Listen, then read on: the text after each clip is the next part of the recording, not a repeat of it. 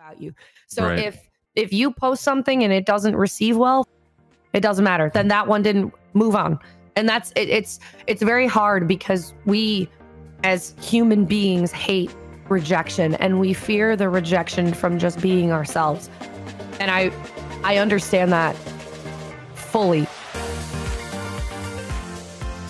What's up, everybody? Welcome to Stream Hi. Key. How we doing? And we have Jambo. Jambo's here in case you guys didn't know. Um, so yeah, welcome to another episode of Stream Key. Uh, we got Sadomi as always as the co-host. What's up, Sadomi? What's up? We're gonna talk about some Yeah. cool stuff today, aren't we? Uh, nope, we don't talk about cool stuff here. Uh, Mr. All right, Pure then. Instinct as well. You guys remember him from last week and a bunch of weeks prior to that. MPI, what's up, dude? Hey, what's up, man? And then we got Play with Jambo, who's a new guest on the show. And uh, yeah, Jambo. Yeah, I just started streaming, so this is really weird for me.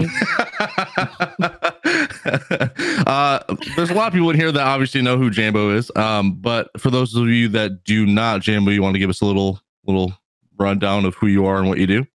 Um, yeah, I'm a variety streamer on Twitch. Obviously, um, I've been streaming for about two and a half years and um, talk about poop a lot. All right, that sounds very enticing. All right, Mr. Pure Instinct. For those of the viewers that don't know, you want to talk a little bit about yourself? I gotta follow that up. Dang, man.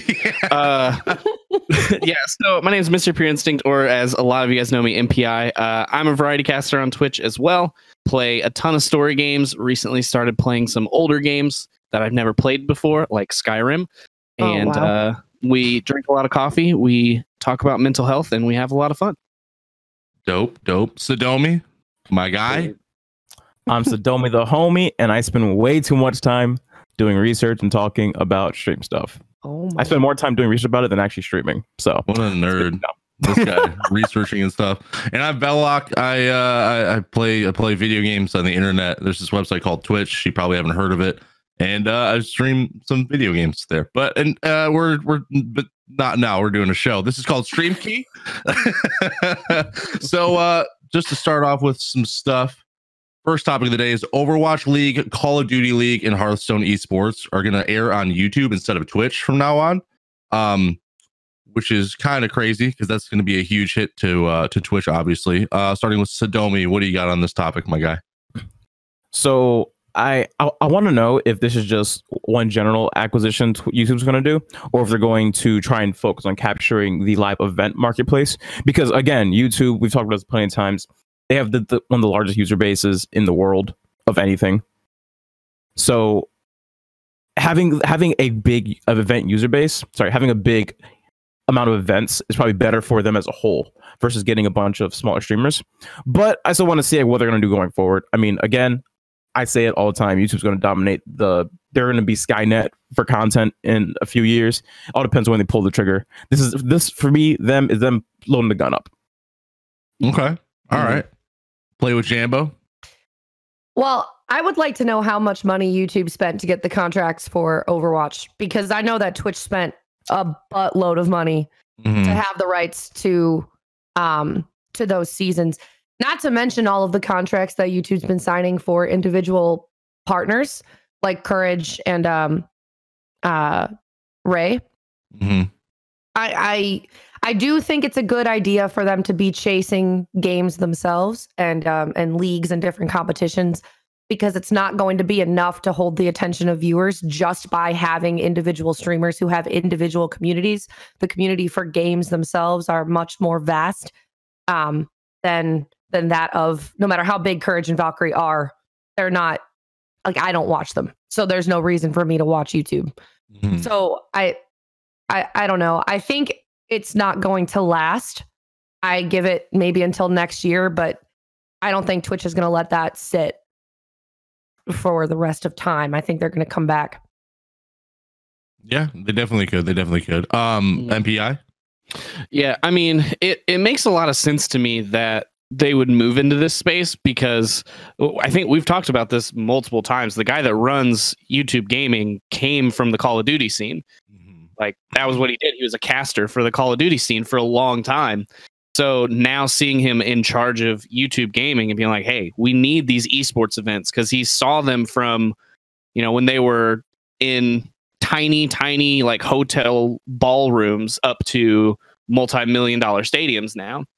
So it makes a Mhm. lot of sense. But I, I think I mean, like Jambo said, this isn't gonna Twitch isn't just gonna be like, okay, man, I guess you can just have it. Like they're gonna come back and it's gonna be a fight, I think, to start trying to get these things to sign longer contracts on platforms. Right. Um, I'm interested in the last uh, paragraph in this where it says that uh, the two Activision games are going to be ran on Google Cloud. Um, did we see how Stadia did? I- Not I- well. Stadia is Stadia is not really how can I put this? I think Stadia will be the future. Just it's just not right now. Yeah, but if I'm have to think, putting- like Google has so much money that it's irrelevant. Like how popular it is, they can buy its popularity if they need to. Oh what yeah, I'm more concerned with I'm playing for millions of dollars and now I have input lag that wasn't there before. or we have a multi-million dollar tournament on our hands and we just drop connection from that cloud. Mhm. Um, it it was a big problem in the Halo scene where Halo 5 didn't have LAN. Still the dumbest thing I've ever heard. And there was a tournament where multiple people just lost connection in the middle of the match and they're like, sorry guys, there's nothing we can do about it. So it's like adding one more piece of the internet that can disconnect in there doesn't feel like a good idea to me. Right. I mean, I'm not a, a network engineer or anything, so maybe I mean, I'm sure they have a couple ideas that I don't have, but I don't know. It just seems like why, you know, add one more thing to it for something that isn't broken. Like just Right. put the disc in the PlayStation and let me play it. Especially Yeah. before it's been like really stress tested the way that it should be for something like that. Since it is like Mhm. multi million dollars on the line, yeah, you wouldn't yeah. want Like this like isn't. saying. Yeah, this isn't you know like an eight dollar game battles thing that I'm playing. This is you know Mhm. the Call of Duty League where people are going on to be world champions. Right. And make millions of dollars and have millions of dollars in sponsorships. So it's a little bit of a big deal. Yeah, absolutely. So, And can we also talk about just player salaries and esports right now too? dog shit. Um, so I think I feel like there are players being paid a lot of money for, and not that they don't deserve it, just that I'm not sure if esports brings in that much to justify all of them right now. I, didn't think, a lot of it is esports is players were getting- sponsorship. Yeah, I didn't think the esports players were actually making that much money though, compared to like what they could be So- making. you know what I mean? It depends on a lot of things. I think like it depends on the organization you're in, how big you and the organization are, and the sponsorships you have. Like, I mean, look back at uh, Optic Gaming a few years ago, where they had Turtle Beach, Turtle Wax for cars. Um, what else did they have? They had Brisk Tea and like and Scuff and a few other things, and they that was enough for them to live in basically a mansion in the suburbs and all of them to be making a ton of money plus prize money on top of it plus money from streaming plus money from YouTube so it was the salary was bare like kind of base and then it was okay well now we also have sponsorships so you get sponsors on top of it you make money off your sales of your scuff controllers so it's it's more than just like hey here's millions of dollars it's it kind of is a bunch of things coming together in one. It's almost like investing. So you have multiple investments in different types of businesses. It's not just, I don't know, suddenly I have a billion dollars. Okay, okay. Um, yeah, so with all that going on, that that could be really interesting. And obviously Twitch is gonna make a huge or take a huge hit for it. Um it'll be interesting to see because YouTube has like 200 million daily active users, uh, but obviously not all of them or most of them are not watching the live content on YouTube. So it'll be it'll be interesting to see like how many of those viewers and users users actually convert over to the live content and uh see if it's actually worth it for YouTube. Sorry about that. Um, so next topic we have is streamer Indiefoxx explains one of her biggest problems with Twitch viewership culture. She explains things like if she wears a t-shirt instead of you know a low cut shirt, she drops down from like eight or nine hundred subscribers to about three hundred. She also loses viewers, and uh, you know, just obviously there's so many negative things that come along with this. And uh, I guess we'll start off with uh, with Jambo here. What did you What do you have to say about about what she So, was talking I, about? I saw this um and I to a point, I think that that she's correct. I, I think that a lot of people think it's very easy for women to grow on Twitch because of um like sexuality and a lot of people do equate the two, but that's not majority of what you see on Twitch. And it can be a lot harder for women to grow because of the lack of respect from a lot of uh, or, or some men on the platform. I don't want to say a lot of because it's definitely not all. I, I it's very it's very difficult and um the community can be kind of brutal on on Twitter um toward women specifically for what they wear. But to a point, there are those people that go on Twitch and look for the women who are dressed a certain way and do pay money for that. So it's this kind of weird, it's like a struggle and like a power struggle between the different kinds of female streamers alone mm-hmm. on Twitch.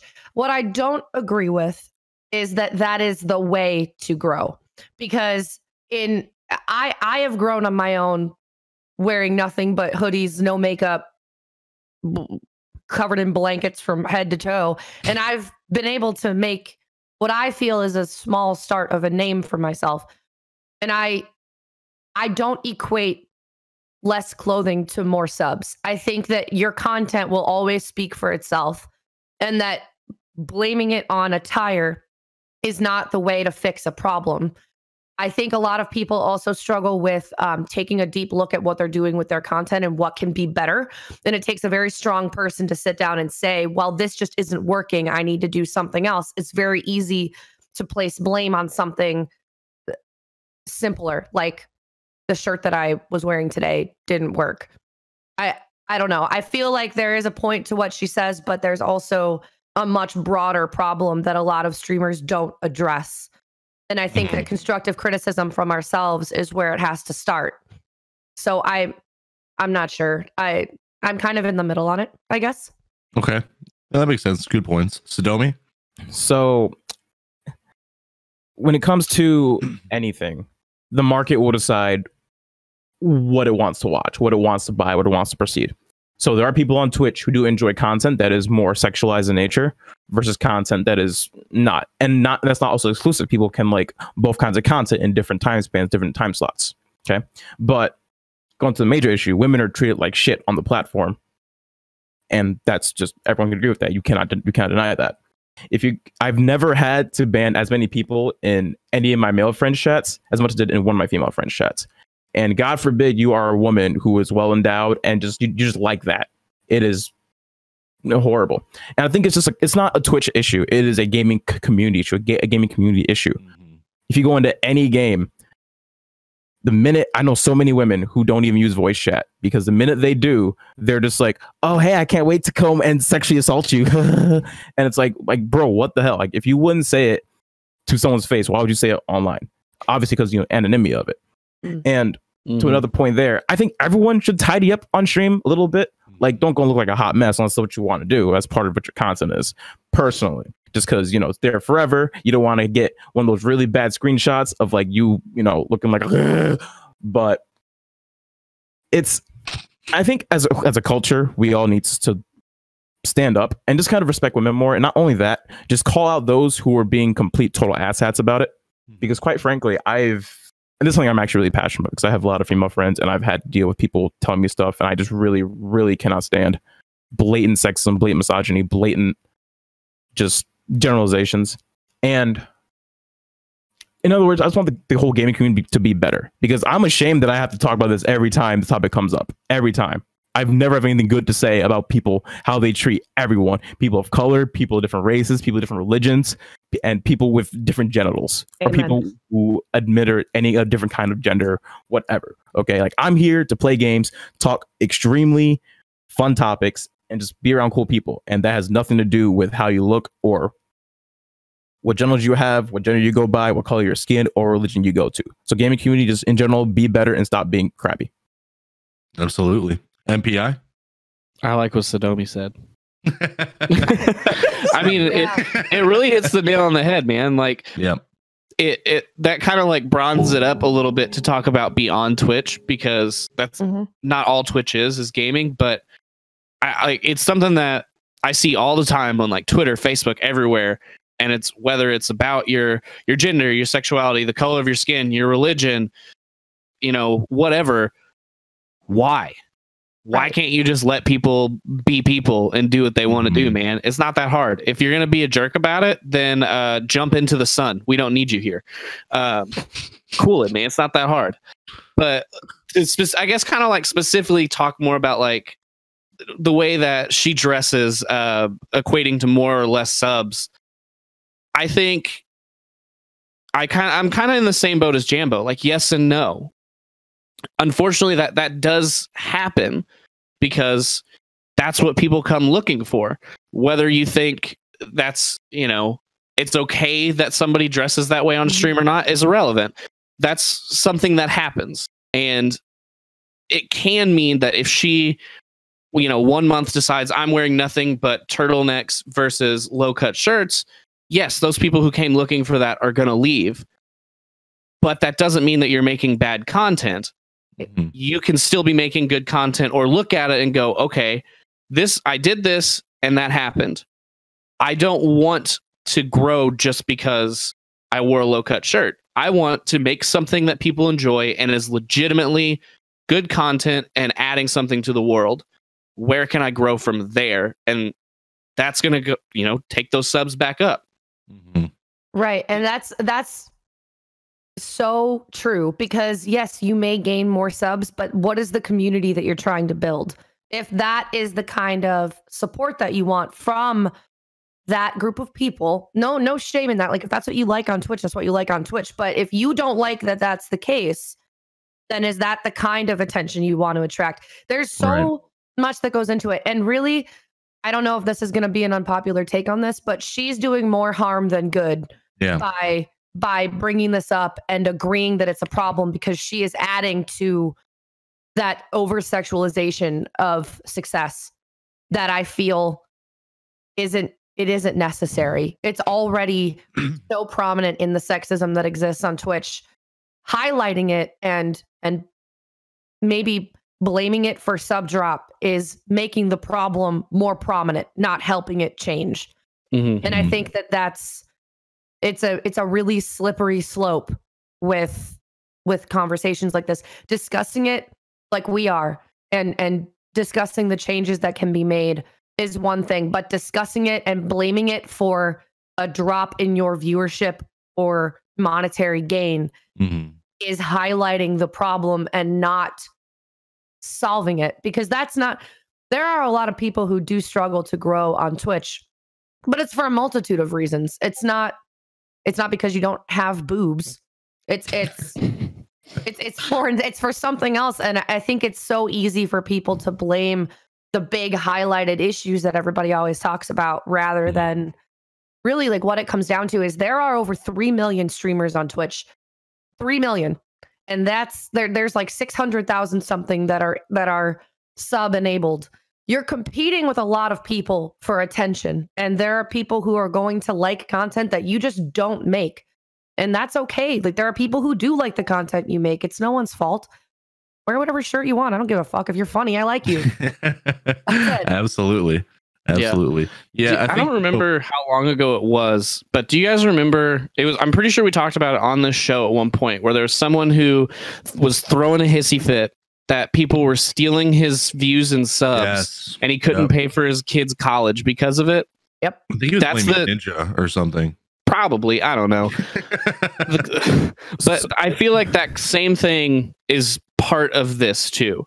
Mhm. because Mhm. so many people are going to look at it and go, "Oh, well, that girl only has so many viewers because you know she has some cleavage out." Yep. And sure, that might be part of that viewership, but at the same time, they could also be the funniest person you've ever met, and Right. you're just not as funny as they are, or you know, whatever part of their content is still possibly better than yours. You can't just look at it and immediately go, "Boobs." That's what it is, man there's there's so much more to it than that. Like right. you can't say that. Oh, well, she has boobs. She stole all my viewers, dude. What what am I supposed to do? hmm Yeah, there is a huge issue with the culture of Twitch. I mean, not everybody, obviously, but there is a huge issue with, you know, with everything that we're discussing. And it's not just viewers, it's also streamers like like we're explaining about Indiefoxx. I think that what really changes the the culture of Twitch is the streamers themselves. So Yeah. I think if she would have taken a different approach at this, like Jambo was saying, it could have been a lot better. And it could have changed a lot of people's opinions instead of blaming the problem. Like you could do things to like to fix that problem. Like if you don't want to like be known for wearing a low cut shirt, then just don't wear a low cut shirt. There's no issues with either side. But Mhm. if you can't just blame an issue and then just proceed to keep catering to that issue, it doesn't it doesn't do anything. It's not progressive at all. So as much as you want to complain about it, the viewers aren't going to change their minds because you're just talking shit about this topic. But if you start bringing up the positives that you could be doing, that's what kind of rallies people to start bettering the platform and the culture in general. So it starts with the streamer, and then the viewers will start to see that, you know, maybe this person's right. Maybe we should change our attitude a little bit. And then it just grows from there. Right. But the moment you have a big voice echoing the problem loud enough, it Mhm. doesn't solve anything. And that's Right. that's where and then somebody mentioned cancel culture in chat. And this all kind of flows into that because the minute that you get um a high influencer voicing an opinion, it's it's all downhill from there. And it is a slippery slope. Cancel culture is one of those things that it just it just breaks the entire system.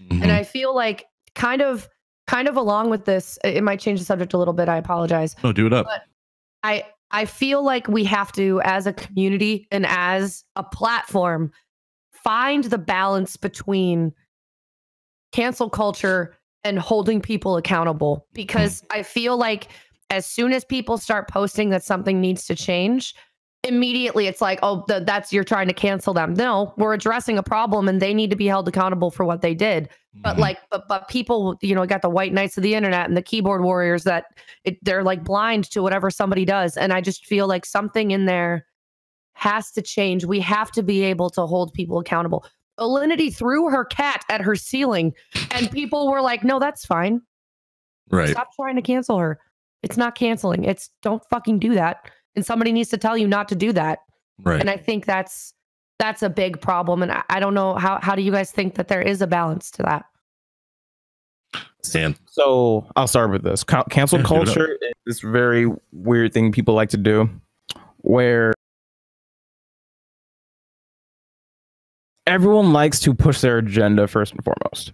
There's no if you ever you ever do anything, you ever take any action is for a reason, whether you think it is altruistic or whether deep down it's really not.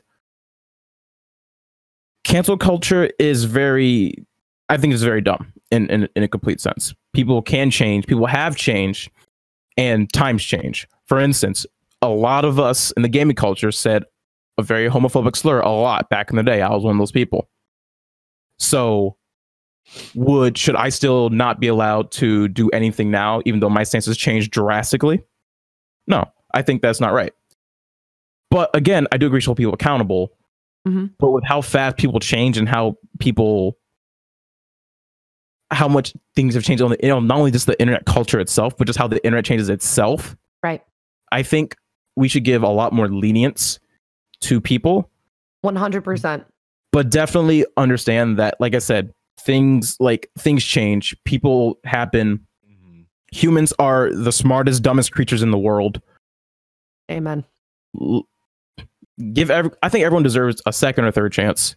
And some people will not change, but if we do not allow people to change or we give the fear of cancel Right. culture, they'll just double down harder. yes because Right. if if if I get And punished, and I'm gonna speak from a perspective of somebody who would have been canceled. If everyone's just telling me how much of a horror person I am, well, why am I going to make an effort to be better if everyone's gonna think that anyway? I'm supposed to double down and at least have some fun with it, right? Mhm.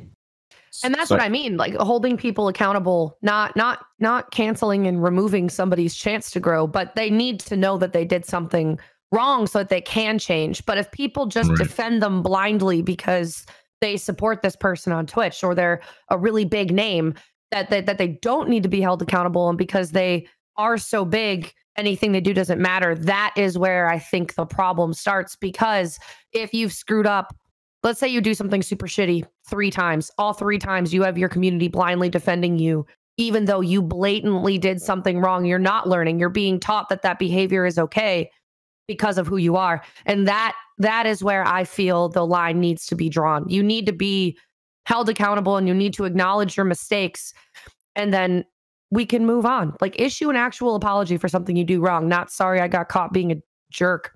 Right. Now the issue comes to what determines what is right or wrong in someone's eyes. Like what I could think is horrible, someone could think is, you know, that's not a big deal. People do it all the time. Yes, but I think I think with a platform that is so diverse, I, I feel like that that's also why Twitch has so much trouble um, enforcing their own rules because there is such a difference between individual people of what's right or what's wrong.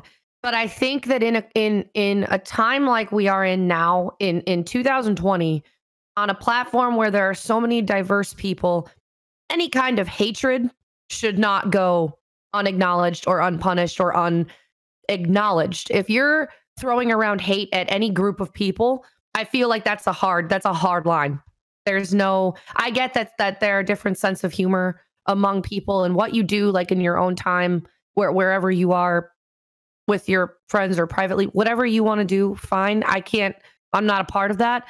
But if it's going to be live on a platform, if it's going to be berating someone on a Twitter post, you have to be you have to be responsible for what you say and be able to back your words up and be Mhm. proud of who you are when you're in this community because there are so many people who end up feeling like they don't matter or something is wrong with them and that's not okay either. So I think there is there is a struggle in finding a balance between right and wrong, but I I also feel like there is a line somewhere that we all can agree this is not okay to exclude anyone in Right. a community. And so your point there brings up the best point I love about the internet. And also the worst part about the internet. We have so many different mixing cultures and mixing backgrounds and ethnicities and just learning experiences that it's impossible to truly make one like generic this is right, this is wrong Yep. about um anyone's like actions.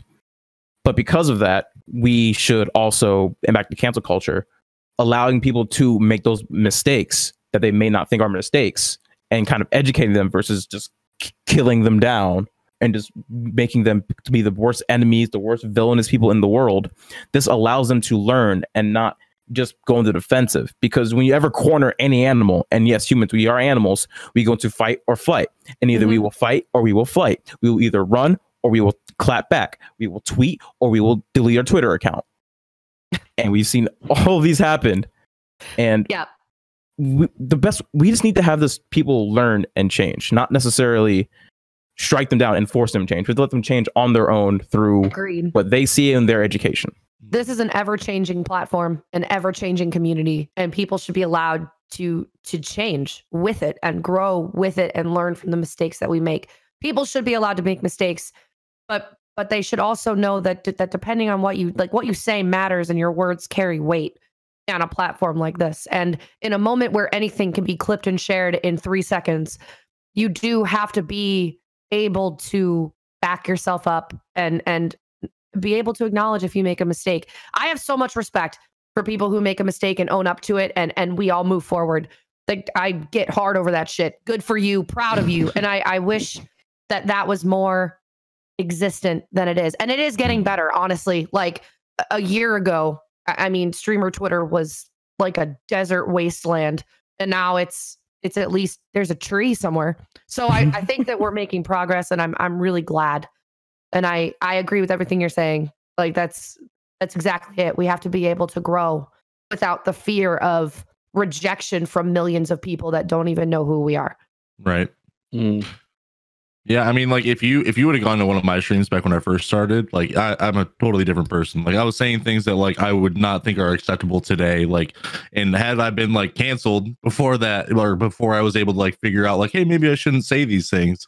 Like I wouldn't be here right now. You know what I mean? Like, it's just like you definitely just need to give people like that time and like obviously hold them accountable, like everybody's been saying. Uh, yeah, like Susie says in the chat, I was very different back then. Uh, very very different sense of Mhm. humor.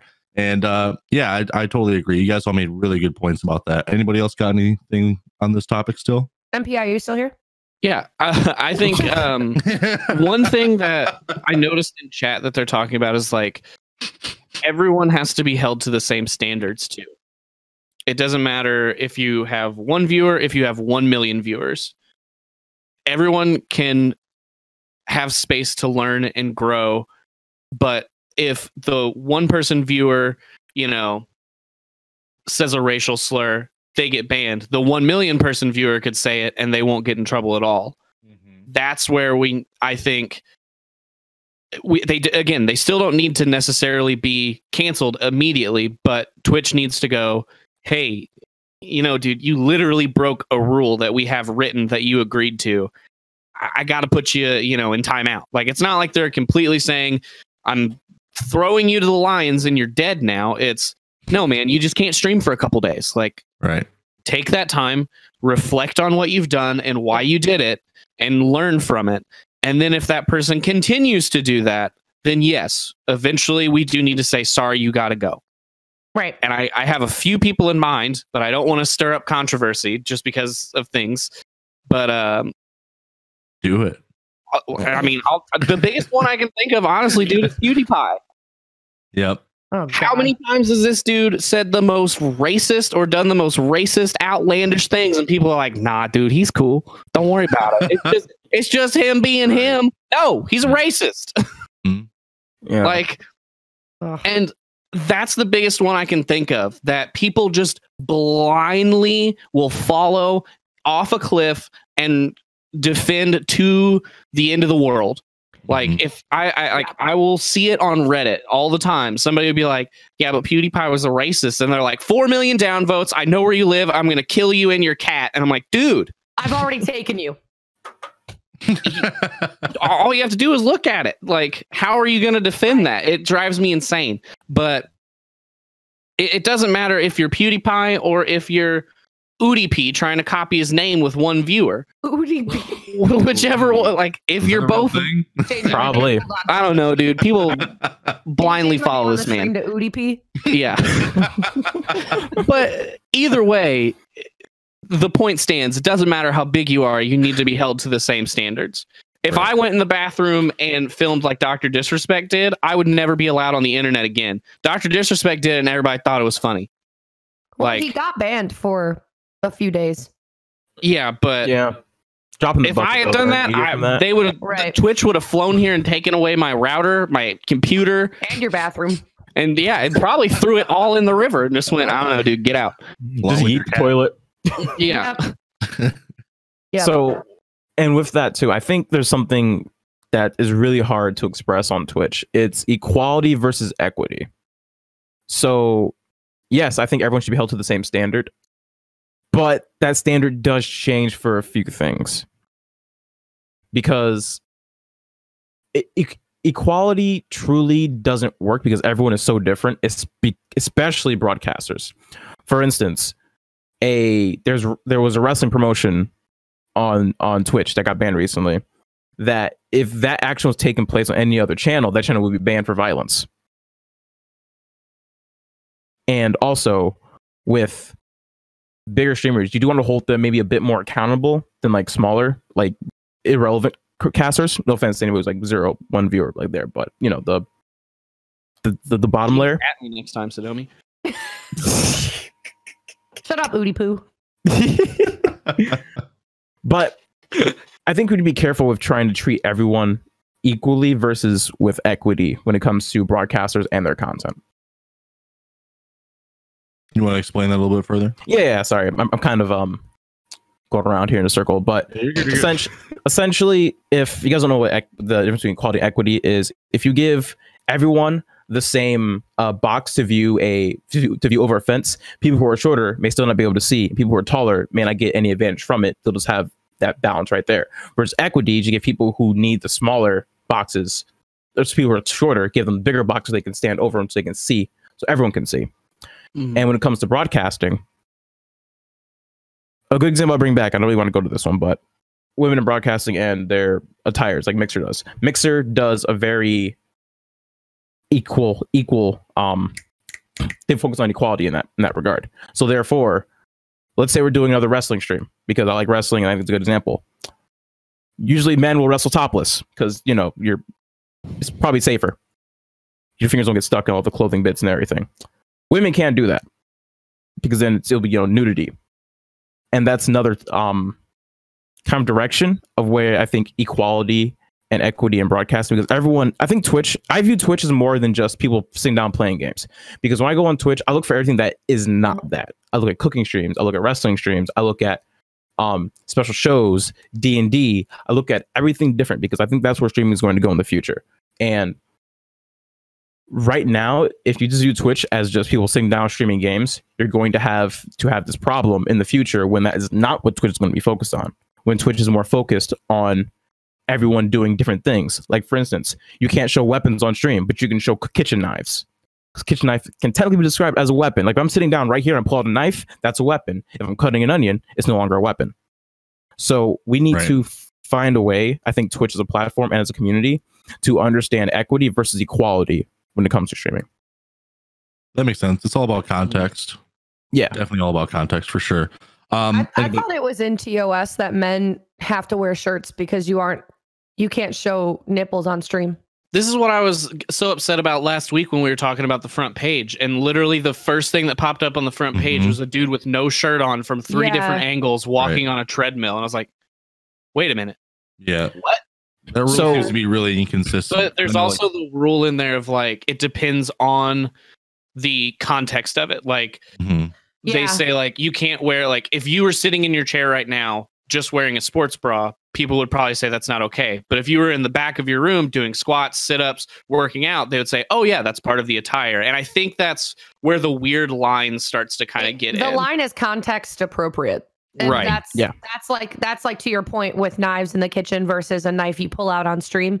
It's the context makes it different. And I think that that is kind of also where the the whole equality thing it's just a blur. It's all a blur. How and I don't know how Twitch would make it unblurred. I don't think you can. I think it's always going to be gray and Mhm. fuzzy. But I don't I I think that uh, they're definitely not doing their best. I think that they need to change something. I just don't know what it is. Right. That's a it's a very huge issue, and it's not like there's a one single answer to fixing it or anything. Right. It's uh Mhm. it's it's uh uh quite the task for sure. um. So anybody else got anything on this topic?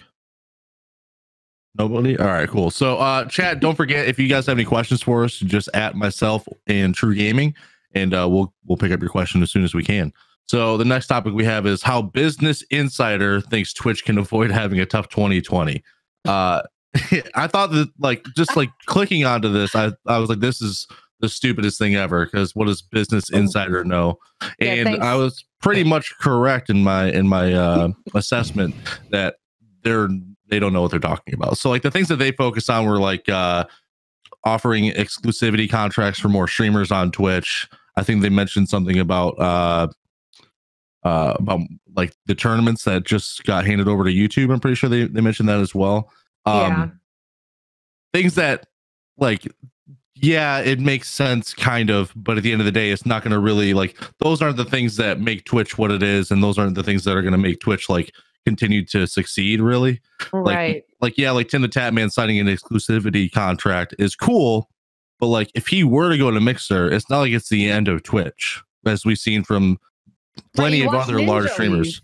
Right, exactly. Twitch is still thriving. It's not Right. and I think that competition is good, but that doesn't always mean that it's that it's lucrative. Like it's good Right. to have Mhm. the competition and know that YouTube and Mixer are pursuing these big names. That's hmm great, but ultimately you also have to look at the dedication of your community.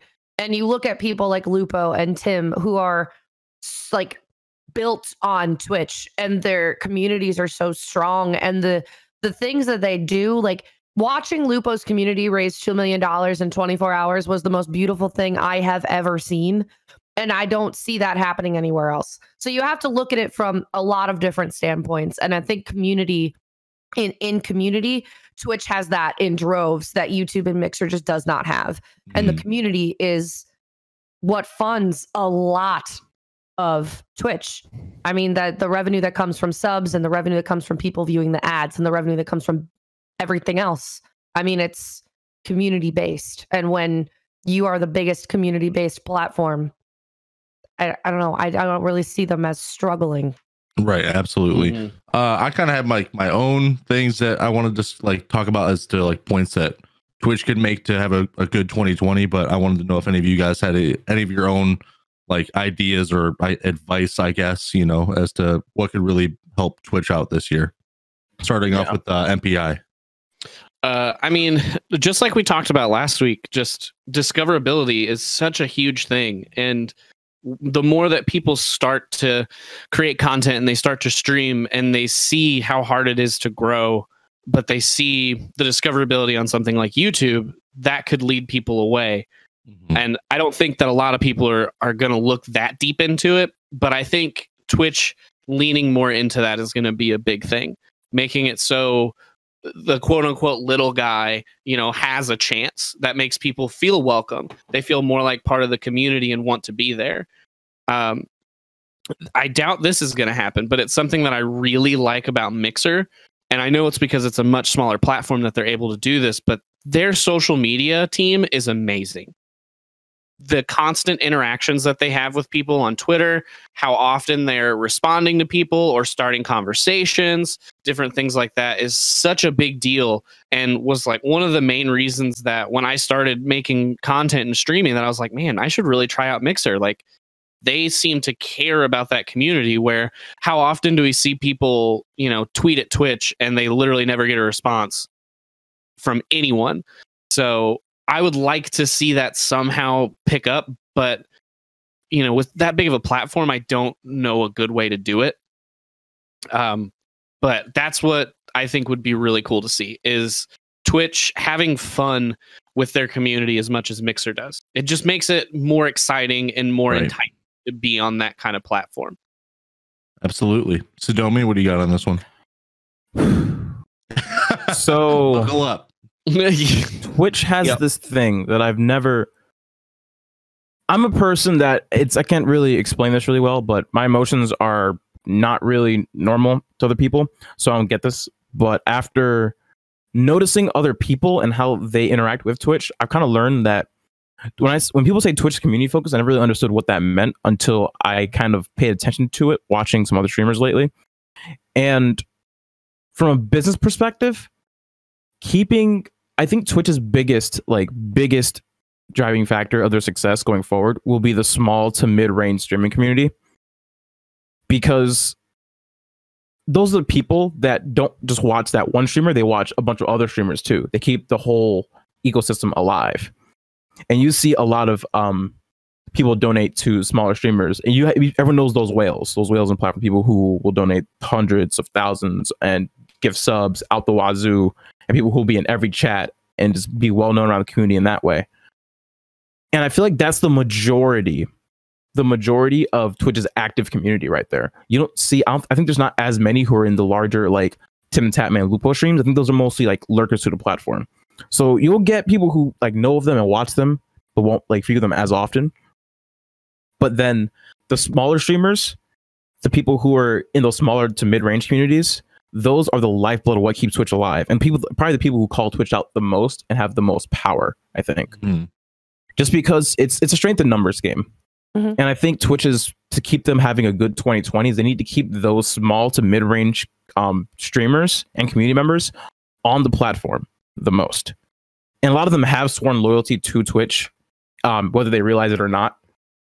But objectively, I think it's a very dangerous spot that Twitch needs to.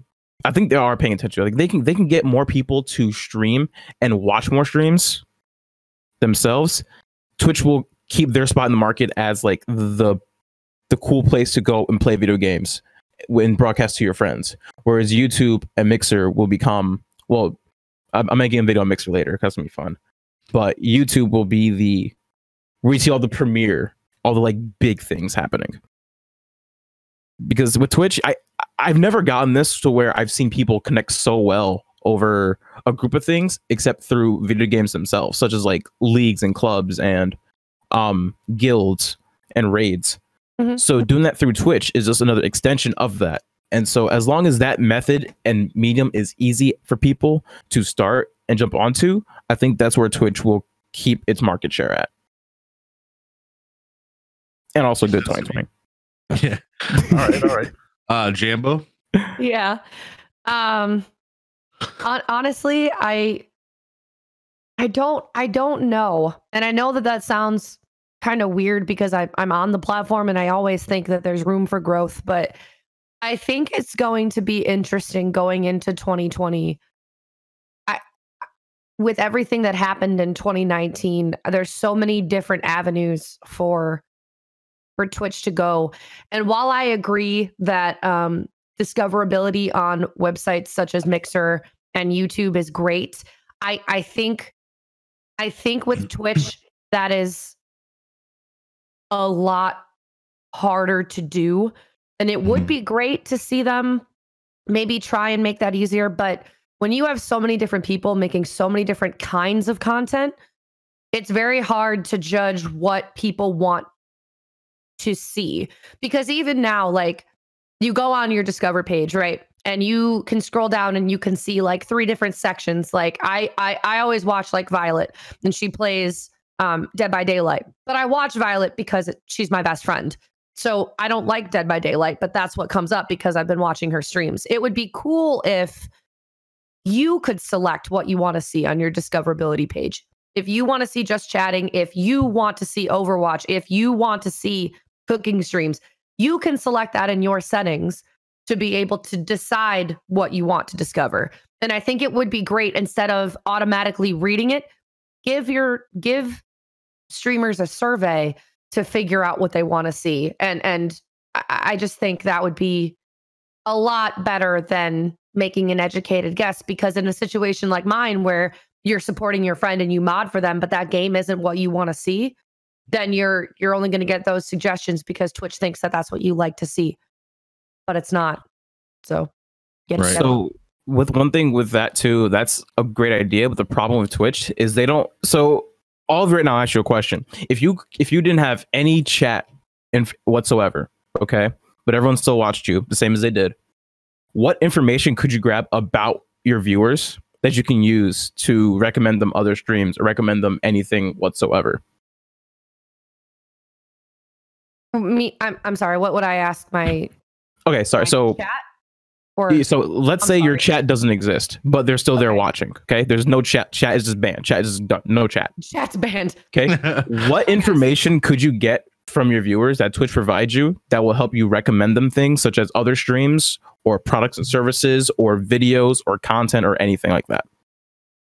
Well, right, but that's that's kind of what I mean. Is if is if you could go into your settings and you could select from drop down menus what you want to see because they have different categories, they have different games. It would be very easy to make a drop down menu that would allow you to select what you want to see on your discovered page Mhm. as opposed to like like when you view a stream and there's an ad, they can't really take anything from that because you're not choosing what ad shows up on the channel that you're watching. So it's kind of like I get what they're trying to do with with guessing what you like based on what you're watching.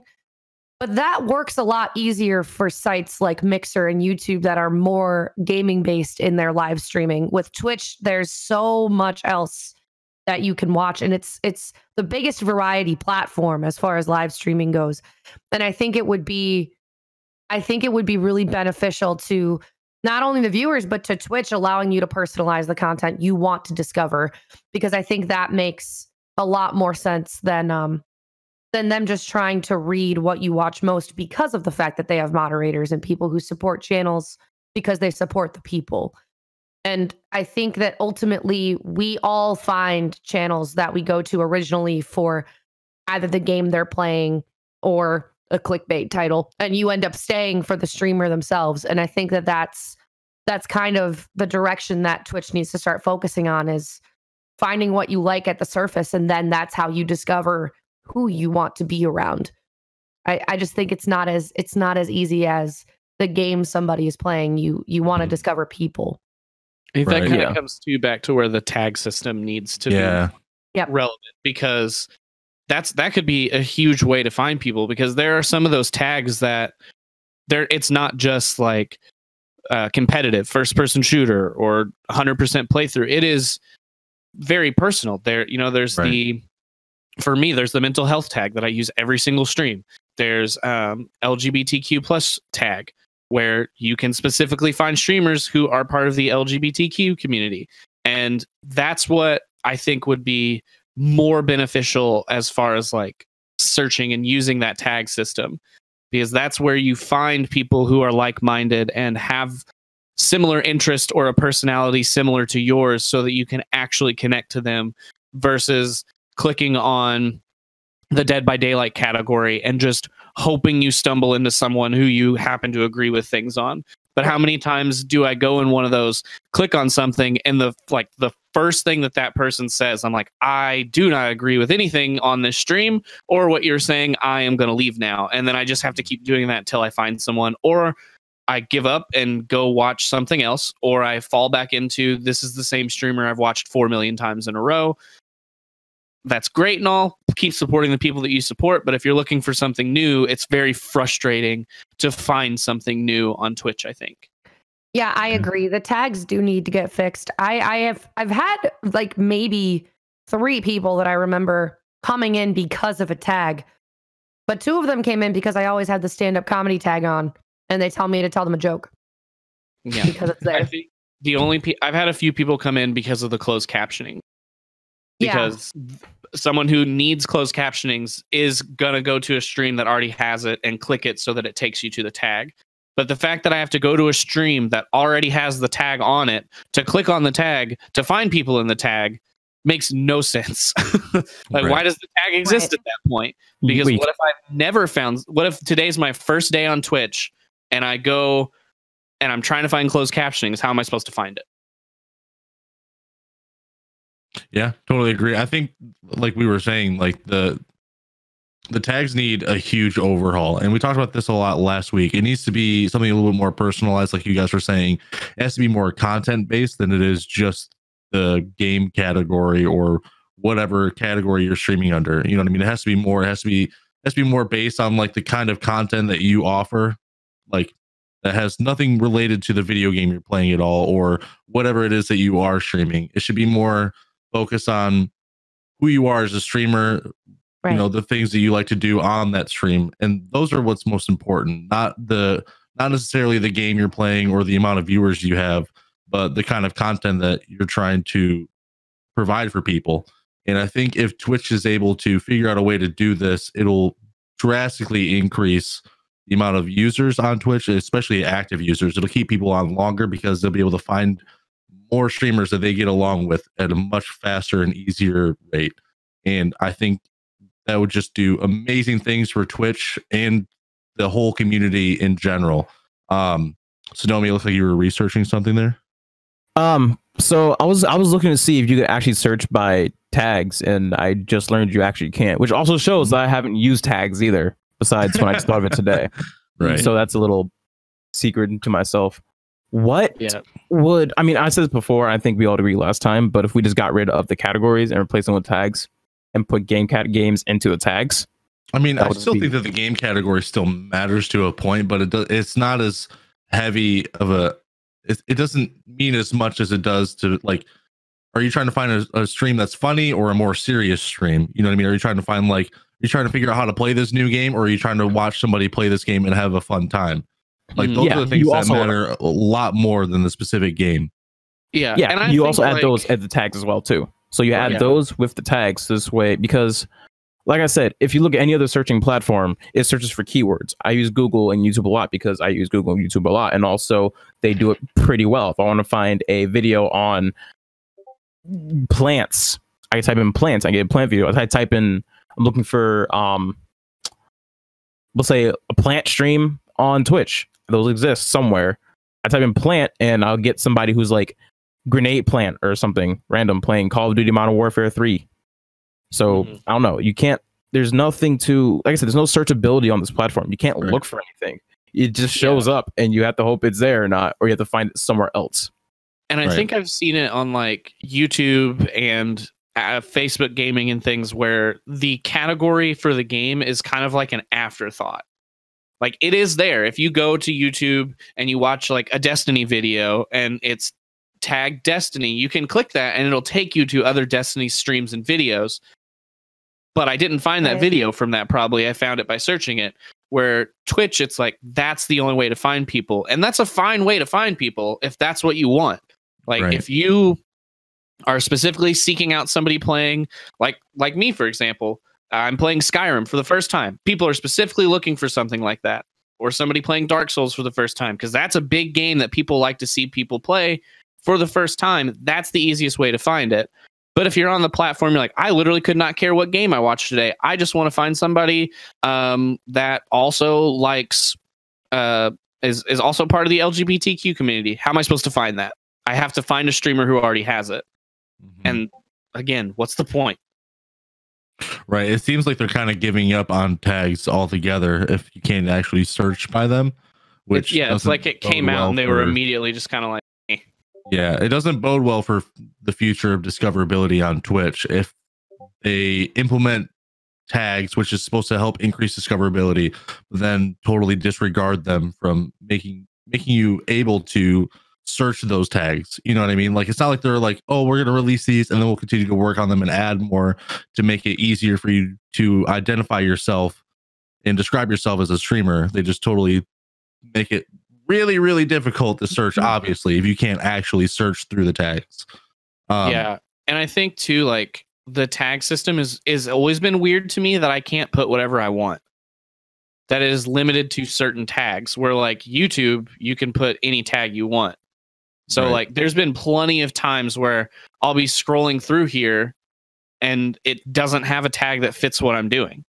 And but there's, you know, such specific weird little things in here that it has, but it doesn't have other certain weird little things. I'm like, Yeah. but but that where's my thing? Like whenever I've done video editing streams, there is not video editing in here. There's editing, but that can mean anything but there's you know visual art there's line art there's voice acting um texas hold'em Well, sure. Like Hello? Twitch is a Texas Hold'em platform. yeah that's yeah, that's true. That's the twitch future of is going to take over E espn's world poker tour oh they also have omaha hold'em in case you guys wanted to use that Never I heard of play that. that. all the time. I'm strictly an Omaha Hold'em platform. i'm about to be now i'm changing I mean, everything Tag for it, you might as well do it, right? yeah Somebody's Jeez. got to be searching that thing up. Wait a Um, minute. Omaha Hold'em. yeah i don't know what that is now i'm kind of curious I'm going there's one in download here it. for a specific convention Gen Con? yep The- uh, not twitchcon mind you That doesn't- Omaha. Oh, there is at the bottom if I scroll down. Okay, I was gonna say that's probably not good. They should fix that. You figure out what it was yet, Jambo? I'm uh Texas I am Hold'em. about to be down a rabbit hole. yeah. Oh, I- Lord. there- uh, how are there no Omaha Hold'em channels live right now? Not even one. It's 11:03 a.m. on a Monday. Come on. That's Sounds like a bad tag. Time. yeah, right. It sounds like nobody's chasing their Omaha Hold'em dreams. Jeez.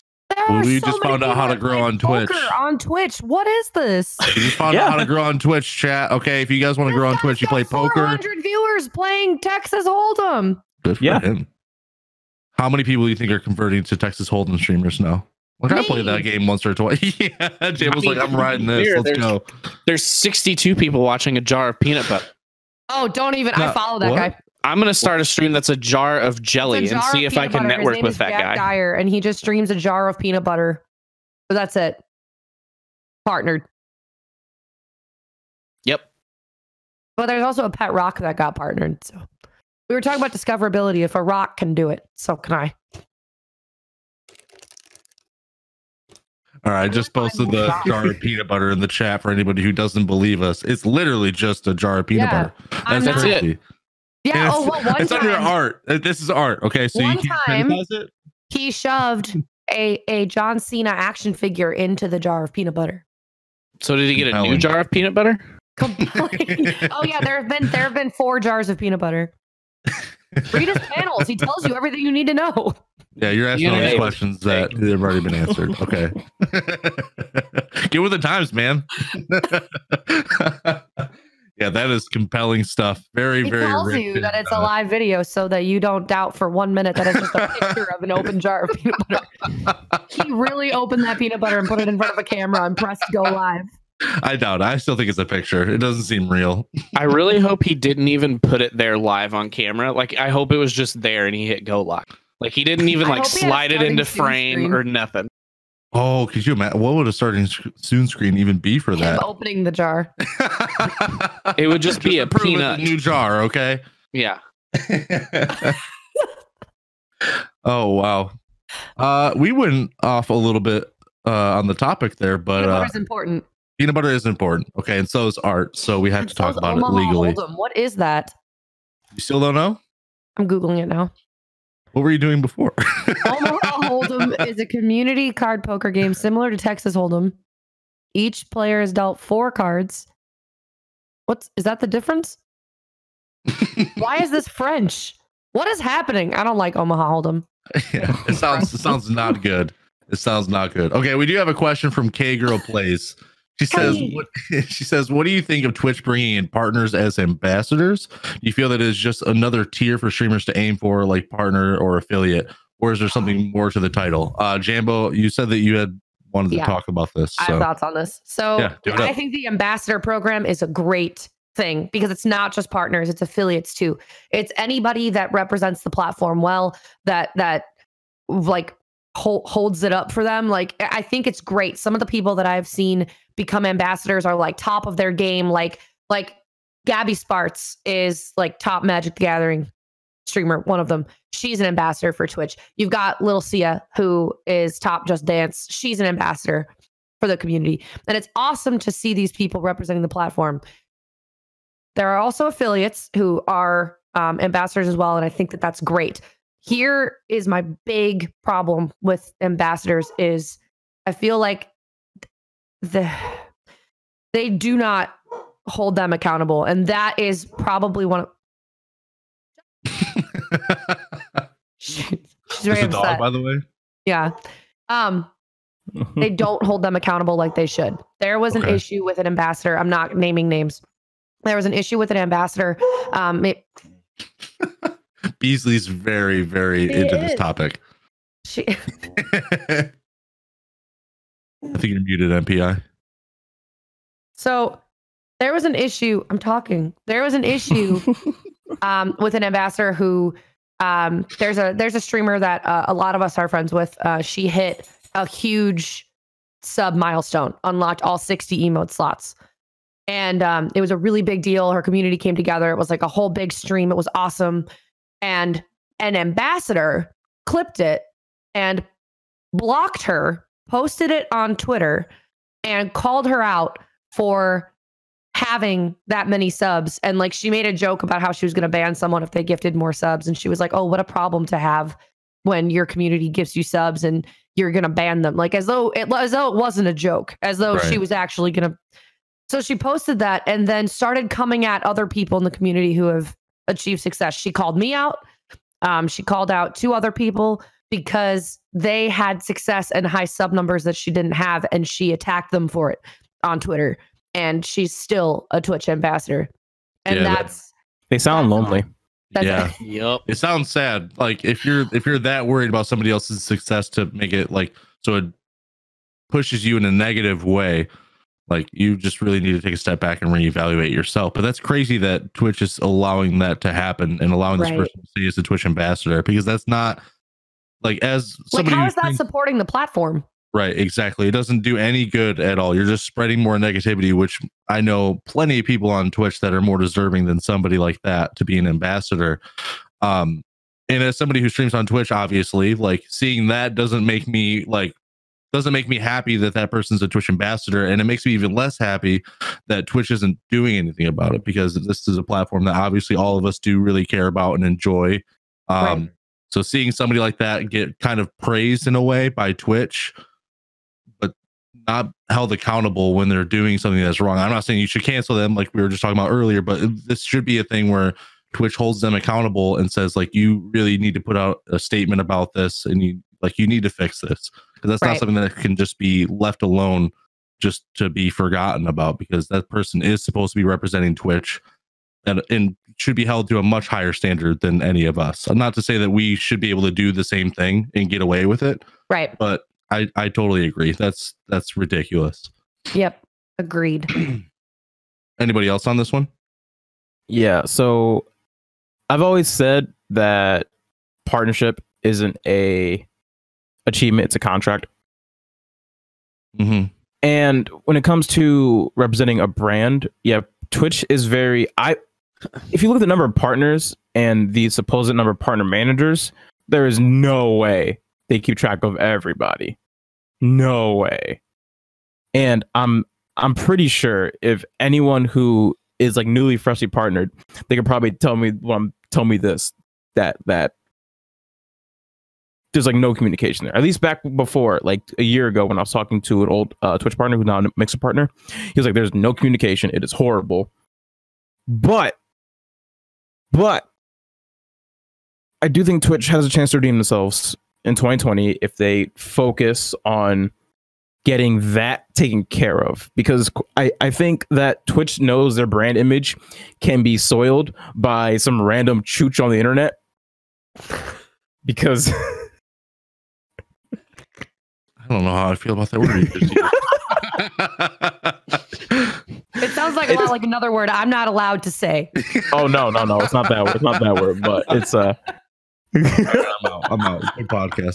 but yeah no literally if you're if you're Twitch partnered you technically represent the brand for Twitch and we've seen a lot of Twitch partners who do some dumb stuff and we're not even talking about the like the small people even the, the bigger names too Jesus so it's I feel like Twitch kind of wants to also separate themselves from their ambassadors and their like partners as a brand, as like a service. But kind of just, I don't know. They need to be careful because I don't know if they want people to represent them or they don't.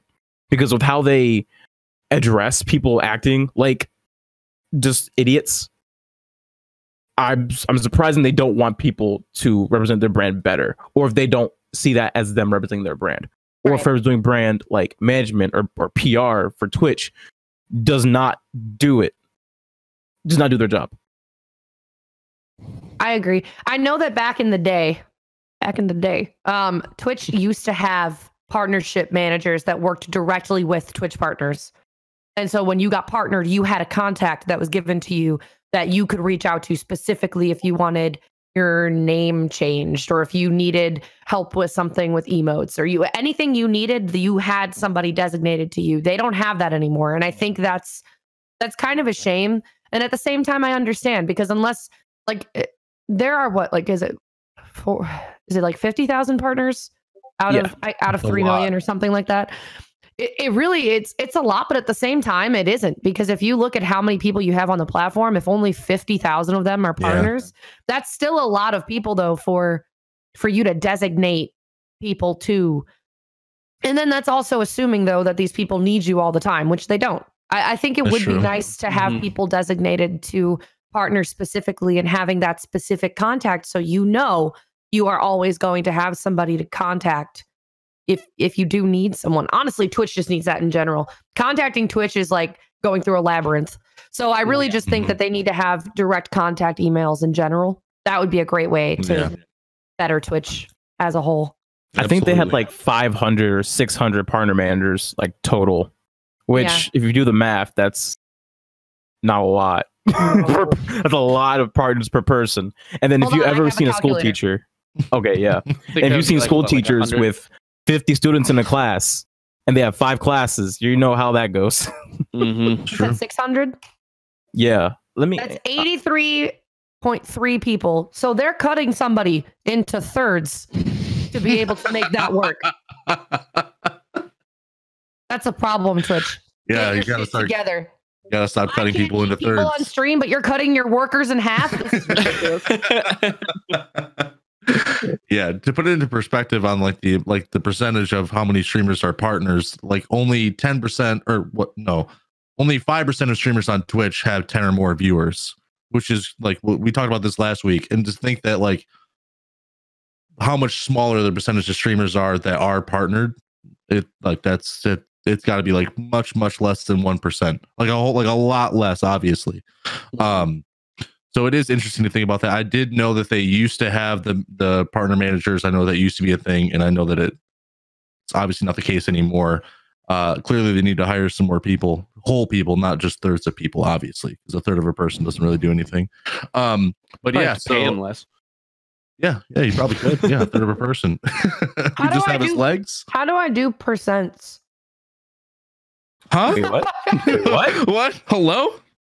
What is fifty thousand percent of three? Oh, what What is is- fifty thousand percent? Hello? Welcome to third grade math. How are we doing today? What is fit? Three point five million. Fifty thousand. How much is fifty thousand? Oh, I'll- I'll- I'll do that. Wait. I know I know what you're asking. I know what you're asking. I got you. Give me a sec. Yeah, we Are you asking the percentage of people that are partners of all the people on Twitch? That's incredible. Uh, play with Jambo on Twitch, by the way. play with Jambo. Yeah, please clip. Uh, that needs to be everywhere. Thank you. Now we know why the name isn't Math with Jambo. That's definitely not. Got. Oh, my shining moment.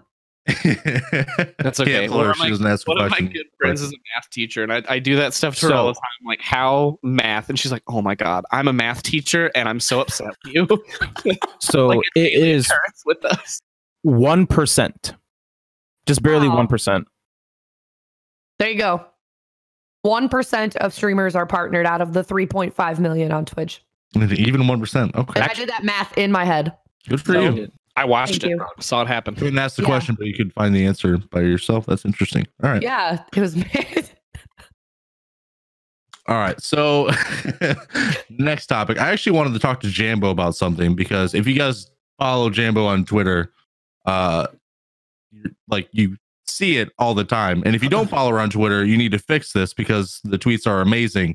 Uh so we always get questions about social media usage and how you should use it to, you know, to get your name out there and, you know, just whatever. There's you know how many questions there are about, you know, using Twitter and everything. And so, from someone who uses Twitter so effectively, what are kind of the tips that you have on it? You know what I mean? Okay, so I for anybody that uh that doesn't know, um I went to college for marketing and business management.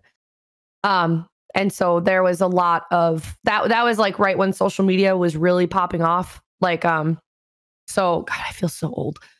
That was right when it was starting to become more prominent and um so I learned a lot about social media and I've taught myself a lot over the years and I can tell you one thing, consistency is key consistency in when you post, consistency in how you post, consistency in who you are.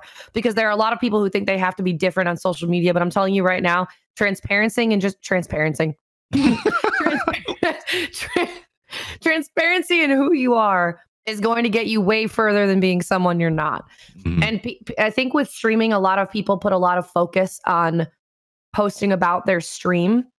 But I'm telling you right now, the if you can post less about your stream and more about who you are and the things that you do and how your day's going and what you did over the weekend and the fact that you have family and pets and friends and you make yourself a person that people can relate to rather than just a content creator, you're going to go a lot further and you're going to grow a lot more organically than finding people who just follow you because you stream and want you to follow them back. You're going to make connections as people and as friends and that's that's something that I am so thankful for and I think if if I hadn't done my journey that way I wouldn't be where I am. But yeah, post I think that a lot of people just have this laser focus on I'm a streamer and I'm going to I'm not going to grow if I don't talk about it and if I don't post about it and, and it's it's so much more than that. Just just be you. Don't don't just be who you are on Twitch. I mean, you're a person and people want to connect with the streamer. That's what's so great about streaming is you're a person and people Mhm. like people and people want to get to know people. And I I think that more focus should be on who you are, not just what you do. Yeah, I, I think that's that's great. And obviously, like your Twitter has been doing really, really well. Uh, I don't know how long you've been focusing on doing this, like kind of like social media. I don't know if you've been doing the whole time, but I know About a year like and the- a half, I think. Yeah, I was gonna say within like the last year for sure. I've definitely noticed a huge increase in the success of just your Twitter post. Obviously, you know, what I mean, like, and success obviously going off of retweets, comments, likes, all that stuff. Um, and how much of that do you think is actually translated over to your Twitch channel? Oh my God. I it's insane. It's Okay. insane. Like every every stream, there are people who come in and say, "Hey, I found you on Twitter. I watched this video of you roasting this troll. How's your mom's new job at the zoo? Streamers don't have legs." Like they come in and reference the videos that I post, or the one where I got scorpioned by my headphone cable. Like it, they come in and they just reference those things because they see them on Twitter or somebody shared it with them or their their mom commented on it or like something like it- it's it's nuts how much it translates. I posted one video um a few months ago, I think in November, and overnight I got about 500 Twitch followers, over a thousand Twitter followers. Like it's crazy. People want to see relatable, funny content, and that's evidently all I can provide. So, that's that's it. Just if you want to relate, Jambo, there you go. but then Um, that's the thing. Like people come in and they only know me as that girl who got yeeted by her headphone cable. And they're But like, isn't that better than not knowing you at all? Yeah, do it Yeah, again. absolutely. No. Yeah. absolutely. Yeah. I mean, with things like this, like the answer can always be so simple, but like somebody on the outside that doesn't really, I don't like it. Just it might not click. Like even for myself, like I've always Yeah. been wondering, like what I should be doing on Twitter, and like the, like it's always a simple answer. It's always like, oh yeah, like why didn't I think about it like that? But, but it's daunting and it can be overwhelming because Yeah. the, and I think another thing is is social media is honestly I don't know how many people will agree with this but I think it to be the case. Um social media is almost more important than your stream itself. Because if people can't find you outside of your stream if you are only letting people find you and see you while you're live that's such a small percentage of the time. Mhm. when social media is 25 8 people are on twitter on instagram xanga wherever club penguin like they're all over mm-hmm. social media and and they need to be able to find you and interact with you and so platforms like discord and twitter are are so important because it keeps the community and you alive for them all the time and the more platforms that your content can spread through and the more friendships that you make the better off you're going to be. Honestly, Twitter is the most vital platform for streamers. And I think making more content there and posting your content there, building that bridge from Twitter to Twitch is the most substantial thing you can do as a streamer. Well, there you go. That was a very, very good answer to all that. Uh, Sadomi, I know you've been focusing a lot about content on other platforms. Um, do you have any questions or do you have anything to go off of on top of what Jambo was just talking about? So I was so that entire time Jane was talking, I went through her Twitter and I scrolled through, and she definitely preaches what she just said, especially with consistency. I don't think she's made less than three posts a day on Twitter since um at least the new year and probably long before that. And like I said, I if I spend that entire time scrolling, there's enough content for me to look through. I was looking through, and I've seen her on on Twitter plenty of times. Like the minute I saw her join the show, I was like, "Oh, that's Jambo. I know who that is. Wait, how do I know who this is? Oh, yeah, boom. See, Right. the more times you see something, the more times you'll you'll see them. Simple Name as that. It'll- the more times you see them, Exactly. the more times you'll see them. the words have never been said, man. Man, that's got to be a quote. We should put that on a on a stream. Put that key on a t-shirt, please. Yep. listen, listen. The more times you shoot, the more times you shoot the ball. Okay. Bro, that was solid advice. Thank you so much. Wow, I know you just changed so many lives in chat that just can't believe the advice. The, the- Okay. Listen. You're See? changing 100% of the yourself. shots you don't take. Wayne Gretzky, Michael Scott. Yep. the more you see them, the more you see them. Wow, dang, dude, that is deep.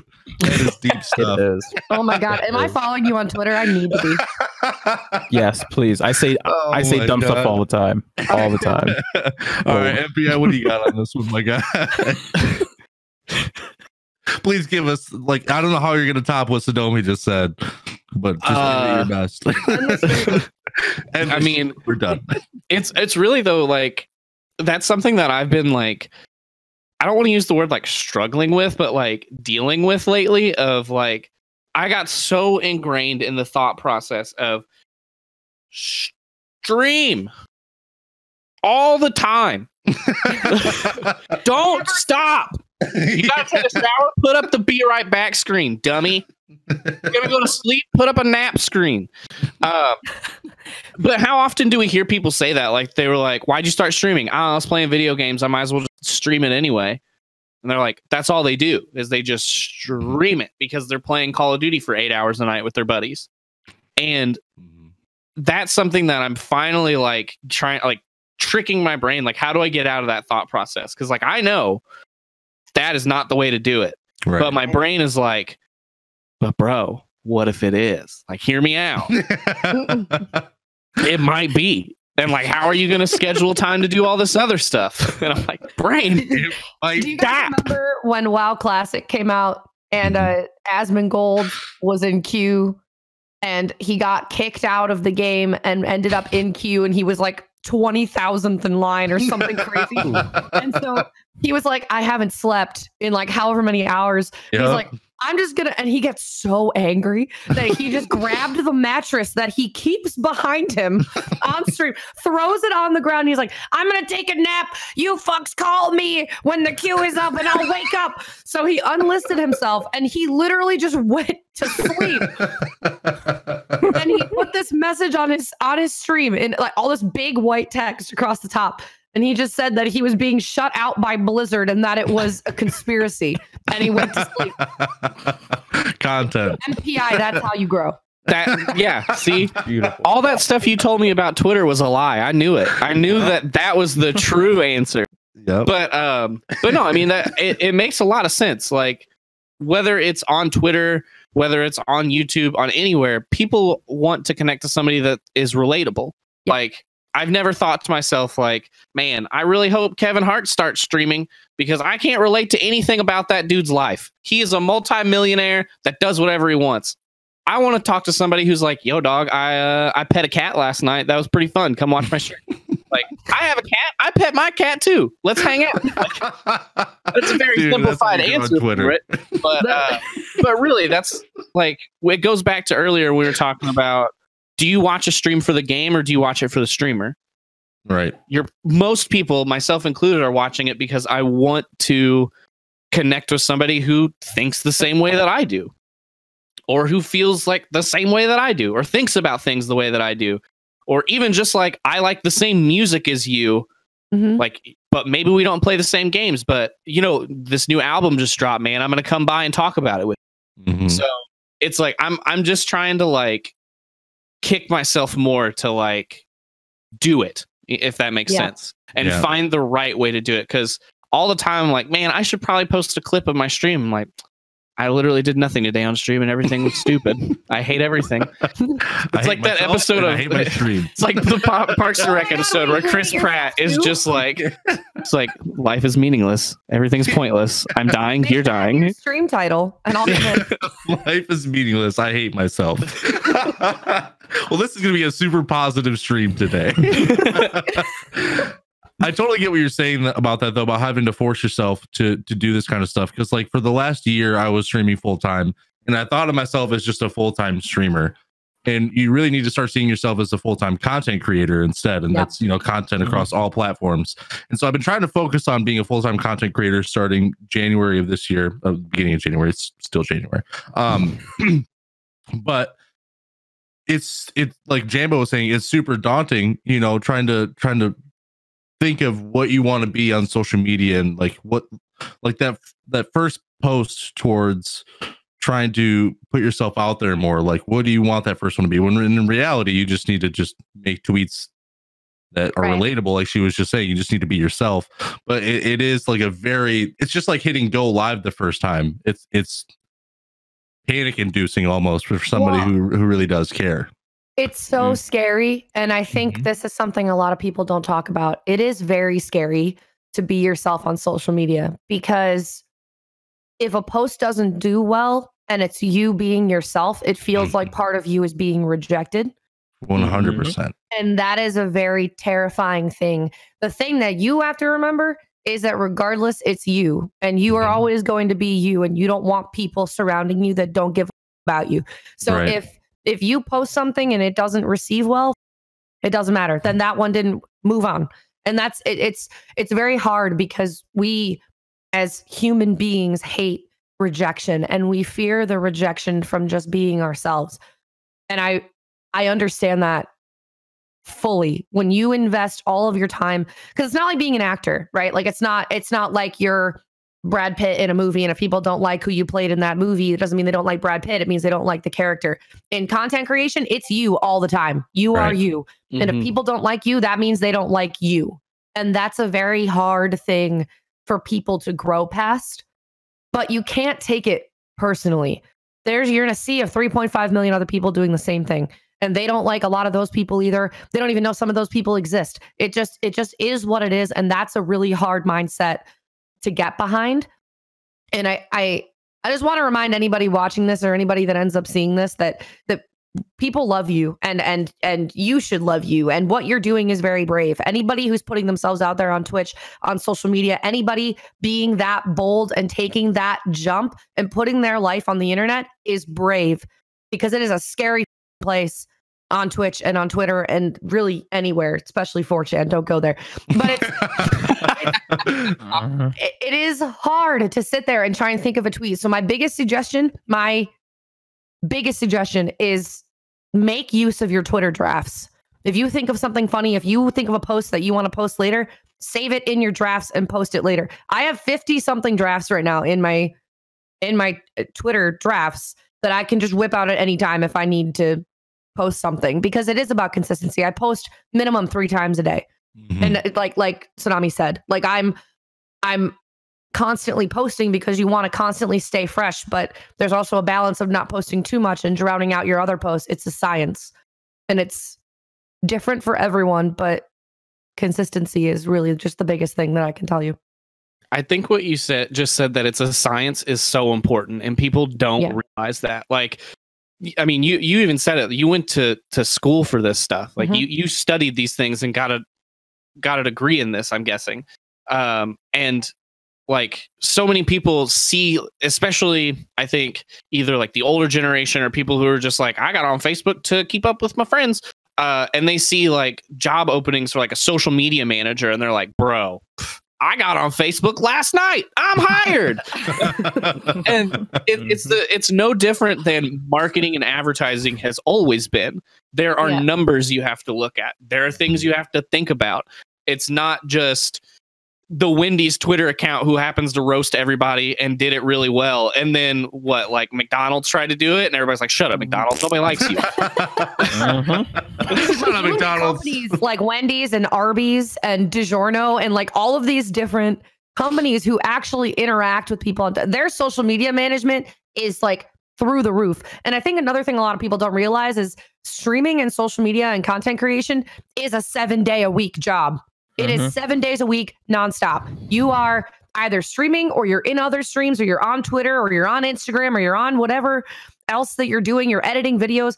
For me, I start stream at 10 o'clock every day, Monday, Tuesday, Thursday, Friday, and I go until about four and I don't leave my office till nine. So I'm either editing or I'm visiting other streams or whatever. And that's four days a week of 11 hour days. And that's not even including what I do on Wednesdays, Saturdays, and Sundays. It's, it's a lot of work. And I, I think that the, the sooner people realize how much work you really need to put into it, if you want to take it seriously, the better off they're going to be. Mhm. right. Yeah, a lot of I'm an people. OBS yeah. changing everything I've ever done ever in one Yeah. night. A lot I of people still think definitely- it's. Oh yeah, go ahead. Oh, so yeah, I definitely think that more people, and this is I kind of learned this about myself too, where I've learned that I like more of the back end of consecration versus the consecration itself, and also the amount of work needed to do. Because technically, Jambo, you're doing the work of at least minimum four different jobs. Minimum, minimum. Mhm. You're you're a producer, you are host, you are social media manager, and you're also um An editor agent. Agent. It, and agent. I'm Agent, five editor- people, bitches. yeah, you're five people, bitches. So. I can't do math though. I'm still hiring an accountant. okay. yeah. And so a lot of people try to do it's a lot of work and it's understandable if people don't want to do all that work. It's a lot. Like me, I've learned I don't want to do all that work. Not because I'm lazy. I am, but it's just it's it's a lot for anybody, especially if you're trying to fit it on with like social life, relationship, work if you're working like a normal like regular 40 hour full-time week job so it's a lot. Mm-hmm. so I- i think people understanding and being okay and coming to terms with being a hobbyist when it comes to being a broadcaster is great. And for me personally i love the fact that i've fo- started to focus more on just the back end of it instead of being the actual like one man band show because it's so much less stressful and i feel like i get a lot more done get more a lot more accomplished and i don't get that feeling of dread i'm sure you probably get the feeling of god i didn't get enough done today even though you put in 13 hours 14 hours and that one day I, I, I every day. and i know that one day you worked like 24 hours straight 'cause i know you did it i'm not sure when but you did it in the last like month or two Yeah, I did a just like, 24 hour stream at the end of November. boom exactly and you're still like i didn't get enough done Nope. and that's a very dangerous mindset and i kind of Mm. want to make sure that like i said for me i keep that sane up here because this is everything this is everything for me so Absolutely. if you have any tips for anybody especially myself of how to balance of how you balance everything Hon- honestly, I do. If you guys really want to know, I can. Yes. it's Absolutely. me- Yeah, do it so up. I've been doing this for three years, almost three years in April. That I've been streaming like, like full on. And I had a, I had a full time job for most of that. It- I lost my job at um, the beginning of September this past year, and I, I it was what I thought was going to be the most stressful time of my life, and it ended up allowing me to do this full time and supporting myself. Um, the the one thing that I can't stress enough is take breaks. You have to take breaks. You need to take breaks while you're working. You need to take breaks while you're streaming because a lot of people think if they take a break doing anything ever that it's time that they're missing out not working, but really you're just running yourself into the ground and then you're not going to do your best quality work. It's going to be garbage and you're and you're not going to feel satisfied and you're going to feel exhausted because you're not taking time away from your office and you're not taking time away from your content and you have to you absolutely have to. People work five days a week and have two days off. As content creators, it's very easy, very easy, coming from a workaholic, to get caught up in your work and not stop working. There have been days, like weekends, where I have woken up on Saturday and worked in my office, gone to bed, woke up on Sunday, did the same thing, and I'm drained by the time stream comes on Monday because I it's all I did for an entire two days. It- it's you have to take breaks and take care of yourself because it's very easy to get caught up and burn out. So just make sure that I'm I'm about to dive into a new point. Make sure you take breaks and that you you block time for breaks. Like I have I'm not going to show you guys cuz you would think that I was a serial killer, but I have a I have a planner and I actually have blocked time off for what I'm going to do. Mm-hmm. Like in, in different it's like color coded and there's cool stickers, but I have so I have it blocked off so I know like stream is from 10 to 4. I video edit from um, you know, like four to six, and I visit other streams from six to nine. And I have to block off my time so I know when to stop. And I know that, like, in that time, you know, Anthony comes home from work and then he'll sit up here and do his thing, but we always have time together at the end of the night, regardless. So I have to, you, you have to block and schedule time. And I know it sounds crazy because a lot of people think, oh, you stream, you sit at home and you play video games. No, I nope do a lot of things. I forget to pee Volume. sometimes, and I don't eat dinner. I can't, I can't stress enough how important it is to take breaks. God, I it went from like regular volume to just instant like like just so so furious so fast that was amazing oh my god i'm sorry for interrupting that just no, you're fine. that was gold I just, I just, I can't.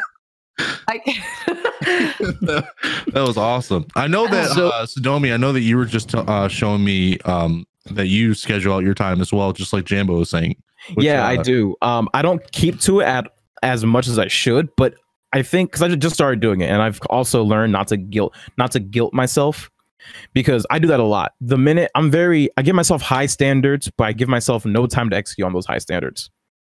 That's something I do did a lot. So now, um, I'm learning to not guilt myself. I think a lot of people also do that too, where especially people who want to be more workaholic or feel feel like they're lazy. I feel like I'm super lazy. I guess people talk to me like, "You work a lot, you do a lot of stuff." but to me it doesn't feel that way and again your perception of yourself is never the same as other people's perception of yourself because you see your own picture and they see their picture what they see and what came with their life so and back to blocking off time yeah once i started blocking off time i noticed i got a lot of things done and i helped not forget a lot of things like for instance the way um my schedule's set up right now i would show you guys but I have my work schedule and there i don't want to you know get shot at work again so we'll just Oh, no. Yeah.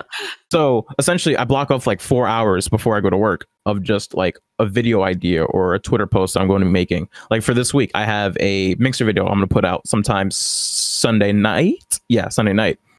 And I'm put a Twitter thread on it on Saturday morning, put the video as well, basically on how I think Mixer is doing a really good job with their marketing, even though, you know, they have no market share in comparison to any of the other players right now. So I, I, I, I definitely believe that blocking off time is everyone should do it. If you're a streamer, viewer, if you're just even if you if you want to improve your life in any way, shape, or form, if Yep. you and once you do that, you start noticing what you spend your time on.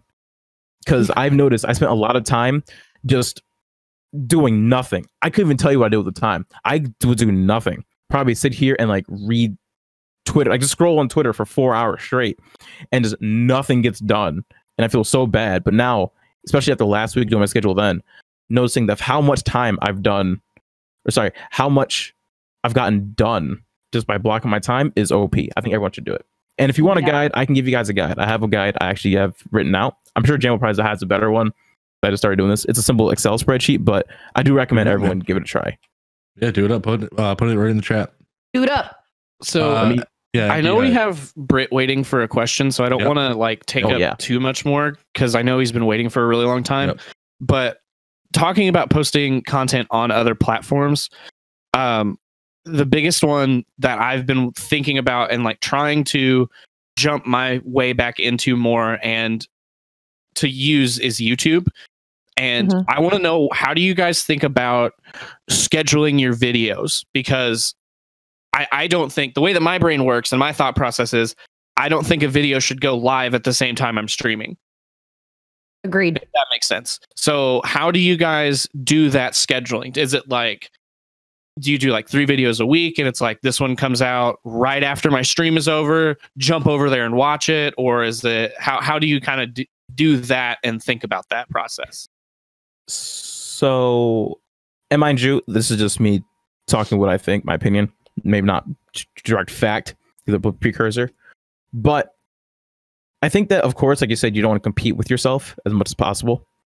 But at the same time, people can always go back and watch a video. Mhm. So, and YouTube videos last way longer than a Twitter post. They last way longer than a stream does, way longer than a stream.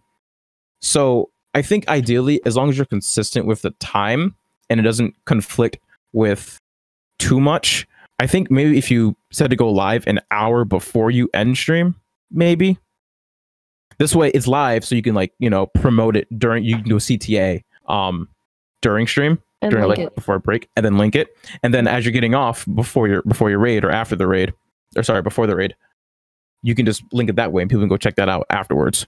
Or they're keeping their minds, open a tab, go join the raid, and then they board the raid like people do. They will go watch it then. There you go. Uh, Jambo, do you have anything on this one? So I don't do YouTube full on yet. Um, I'm still trying to master my schedule with Twitter and um and streams. But um, I always every day that we have a stream, um, I will spend those two hours after stream editing a clip from the stream we just had to post on Twitter, and I'll do that typically around six o'clock um every day. So I'll stream from ten to four and post a video from stream at six and I do that Monday, Tuesday, Thursday, Friday. So typically four videos. I try to even have one to upload on Wednesdays, so it's just a small clip um, every day of the week.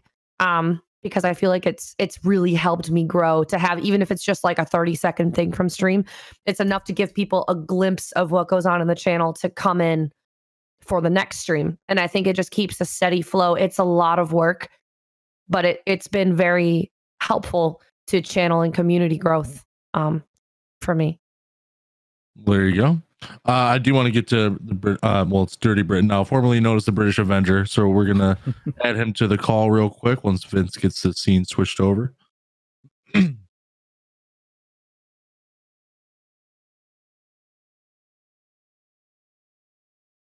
Also, I'll post that uh, schedule in chat now. Yeah, do it up. Have people. It also has a financial um thing to it, so it's pretty nice for that as well if you want to use that. Brit, what's up, man? All right, how are you guys doing? Good. Doing great. What you got for us today? So, kind of on the whole Twitter, like content wise, and I understand what I have seen in the past was like it's mostly do with like Twitch or streaming or even gaming, but um of course I want to do something that I'm passionate about and mental health is a big something I'm really passionate about because I've dealt with depression for like mostly the 4 years recently and um it's just what I'm really passionate about, but I haven't seen a lot of it on Twitter, so I don't know how you would go about it. About mental health. Yeah, on Twitter or like Instagram, anything like that. So, um, do you guys mind if I grab this? Yeah, do it up. It's all you. Um, so one one big thing I would say with um with mental health stuff is it's very important to unless you are a licensed professional um, to make sure people know that you are not because there are there was something that happened last year um, in summer where somebody was giving mental health advice on stream um, regarding depression and um, somebody having suicidal thoughts and they were not a licensed professional and that can really cause harm to not only them but also to you so i think if you're going to be posting about that, it's great because I think mental health does need more recognition across social media platforms and streaming sites. But definitely make sure to stay in your lane with that. Discussing our own experiences and what has worked for us is one thing, but telling somebody else how to get better um, is not the way to go about it. I would say the biggest thing that you could do is post links to where people could find help online mm. or different um, communities or different places that people could go to find what they need um, and then continue to be open and transparent about your struggles because that will help other people open up and feel comfortable discussing what they've been through because it's such a sensitive topic for so many absolutely mm-hmm. uh, mpi i know you probably want to say something about this so yeah um i mean the the biggest thing jambo already said it is make sure that you are very clear and transparent that you are not a mental health professional unless you are. And make sure that it is understood by yourself your moderators and your community that you're not there to tell them how to get better more to open up a discussion and talk about your personal experiences.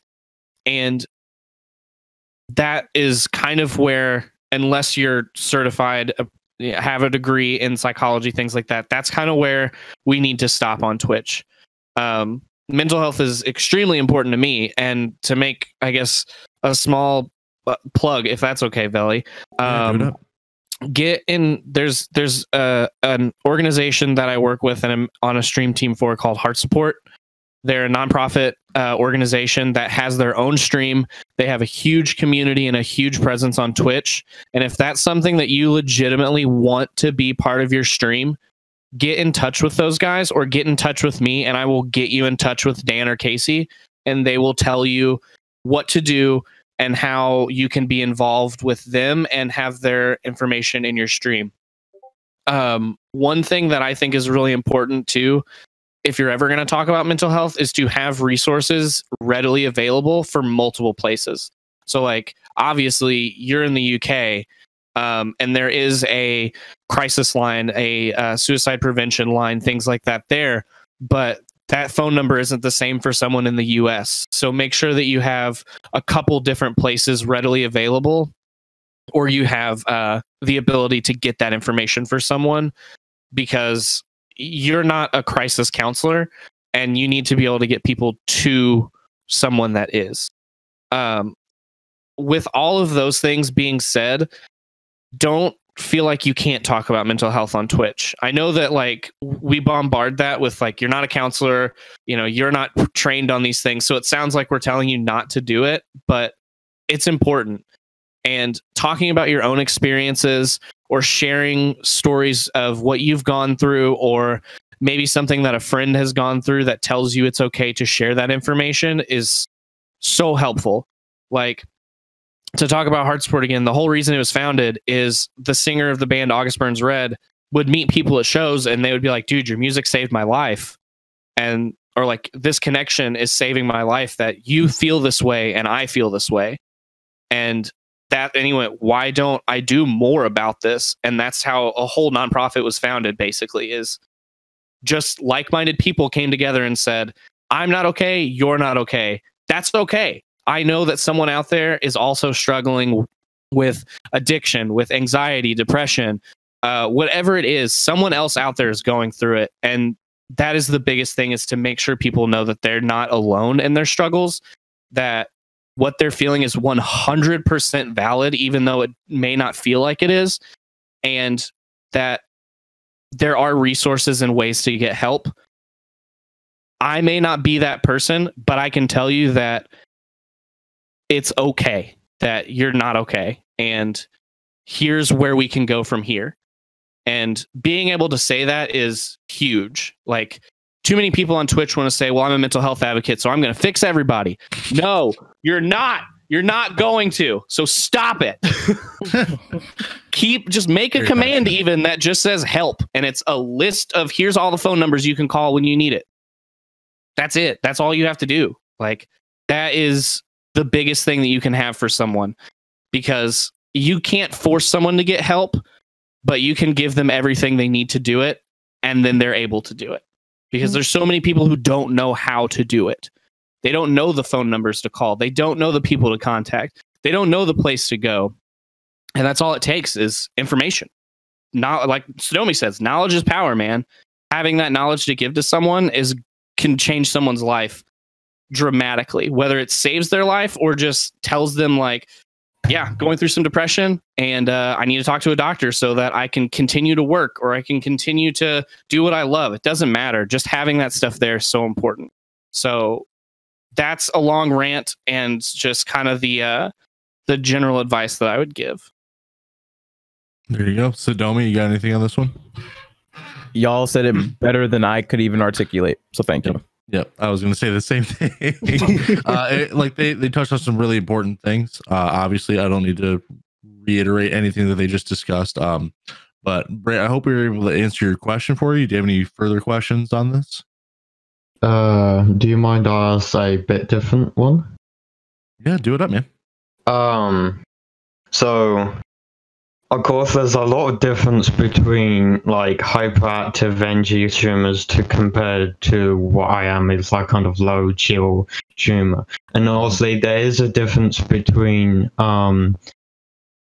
You could correct me wrong on this. Um, like the growth between like the high NG to the low NG, and of course it does make me worry. Like if I go through like five, six years, or how many like hours, years I go through like streaming this, but it just was for me. It's just not going to plan out because I'm not high enough energy for certain people on Twitch or streaming. I don't think that there's anything wrong with not being a high energy streamer. There's content that like the chill content could be consumed by so many people.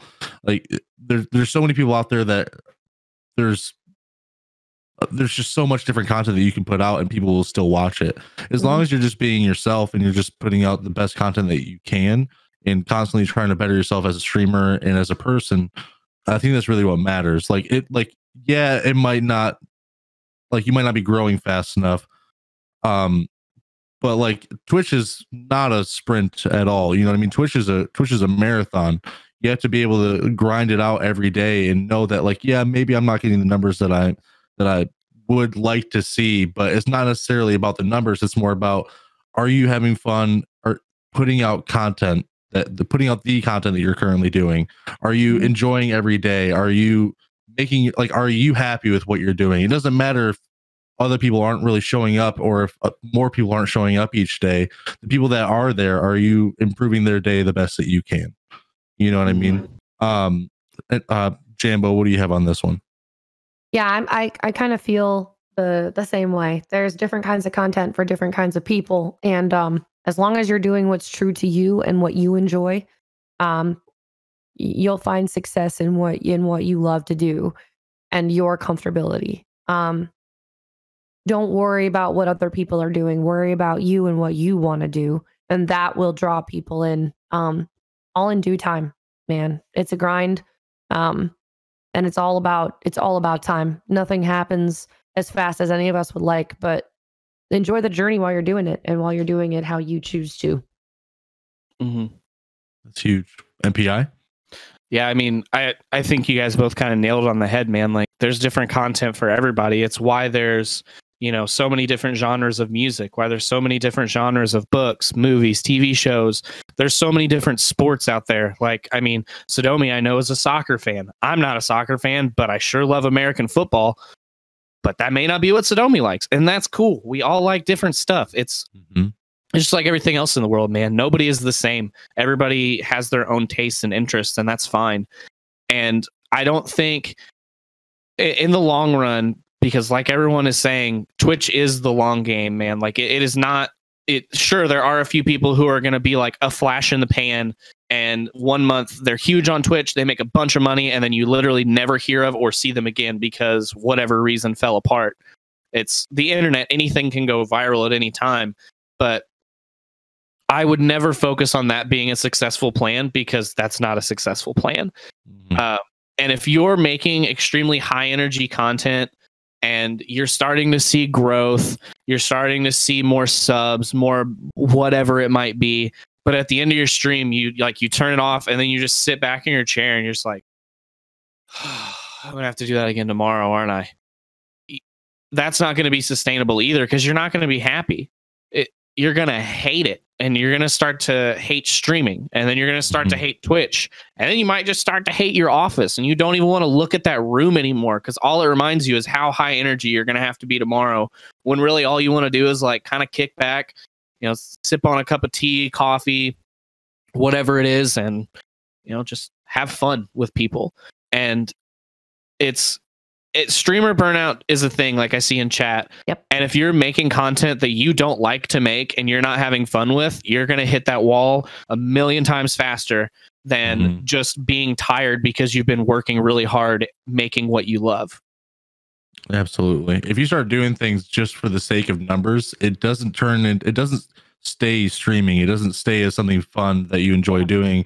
It turns into the day to day grind of a real job, which is not something that this should ever be close to. You don't want this to become like, gotta go to the office today, you know, gotta, you know, gotta suck it up at work, you know, because I need mm-hmm. I need to do this or this or whatever. I don't really like what I'm doing, but like you you you don't want it to become that. It has to be from a place of enjoyment. You have to really do you have to really feel passionate about what you're doing. And if you end the day like MPI was saying, thinking that oh man, I got to do this again tomorrow, like that's that's the wrong attitude for sure.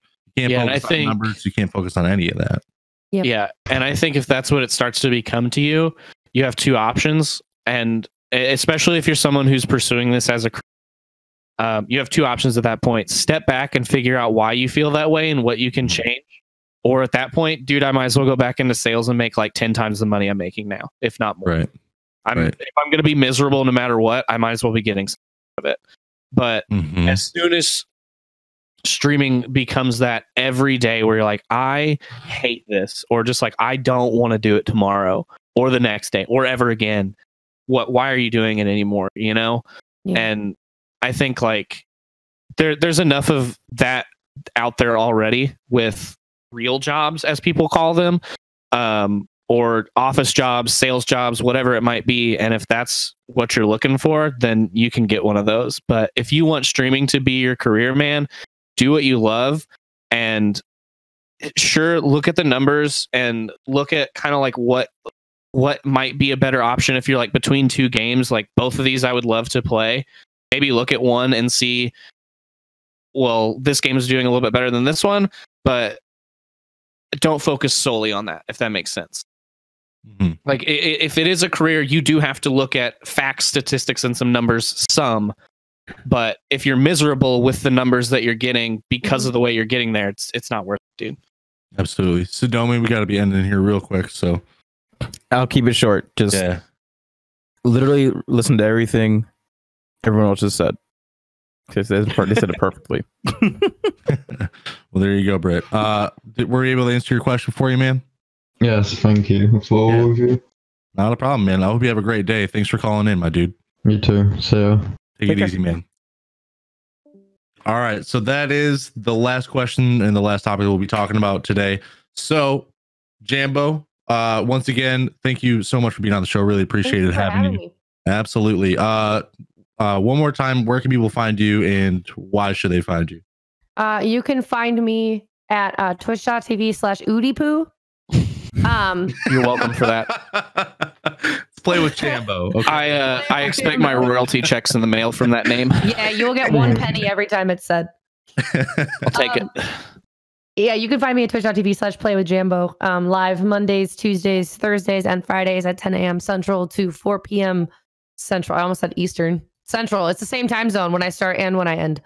Um, right now we're playing through Star Wars, but we play through a lot of RPGs, and um, we get about 20 minutes of gameplay in every six-hour stream. So that's what you're into. Also, it's not my birthday, so it's always her birthday. It's happy birthday, Jambo. Uh, I I can't the believe we didn't say that. Uh, you don't. Um, MPI, where can people find you and why should they find you? Uh, yeah, so you can find me on Twitch, Twitter, Instagram, all the places. Uh, it's Mr. Pure Instinct. Um, you can find me pretty much any day on any of those places. Um, we play a variety of games. Right now, we're playing Skyrim for the first time. So if you are a Skyrim fan and you want to see somebody struggle through it for the first time, I'm your guy. I'm already not great at video games, so check it out. Uh, we talk a lot about mental health stuff too and enjoy a lot of coffee together and just have a, a, a community where everyone is welcome and everybody tries to have a good time. Awesome. Sadomi, you know it. Perfect. Uh, everyone, I've been Sadomi, your homie. and you can find me at twitch.tv slash Sadomi and on YouTube as Sadomi as well. But on Twitter, I'm Sadomi TV because, you know, Twitter's uh, fickle. But uh, I will be live at 2 p.m. today, an hour from now.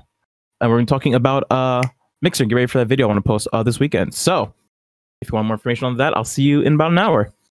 Awesome. Thank you so much. Uh, and I'm Velokk underscore TV. I play a lot of first person shooter games on Twitch. It's Velokk underscore TV on Twitch, Twitter, Instagram, all the things. Thanks again, everybody, for for coming in and hanging out, asking us questions. Uh, thanks for listening for all the listeners. Really appreciate you guys. Have a great day. We'll see you next week. Sadomi. bye forever. is it? Bye forever and blaze it.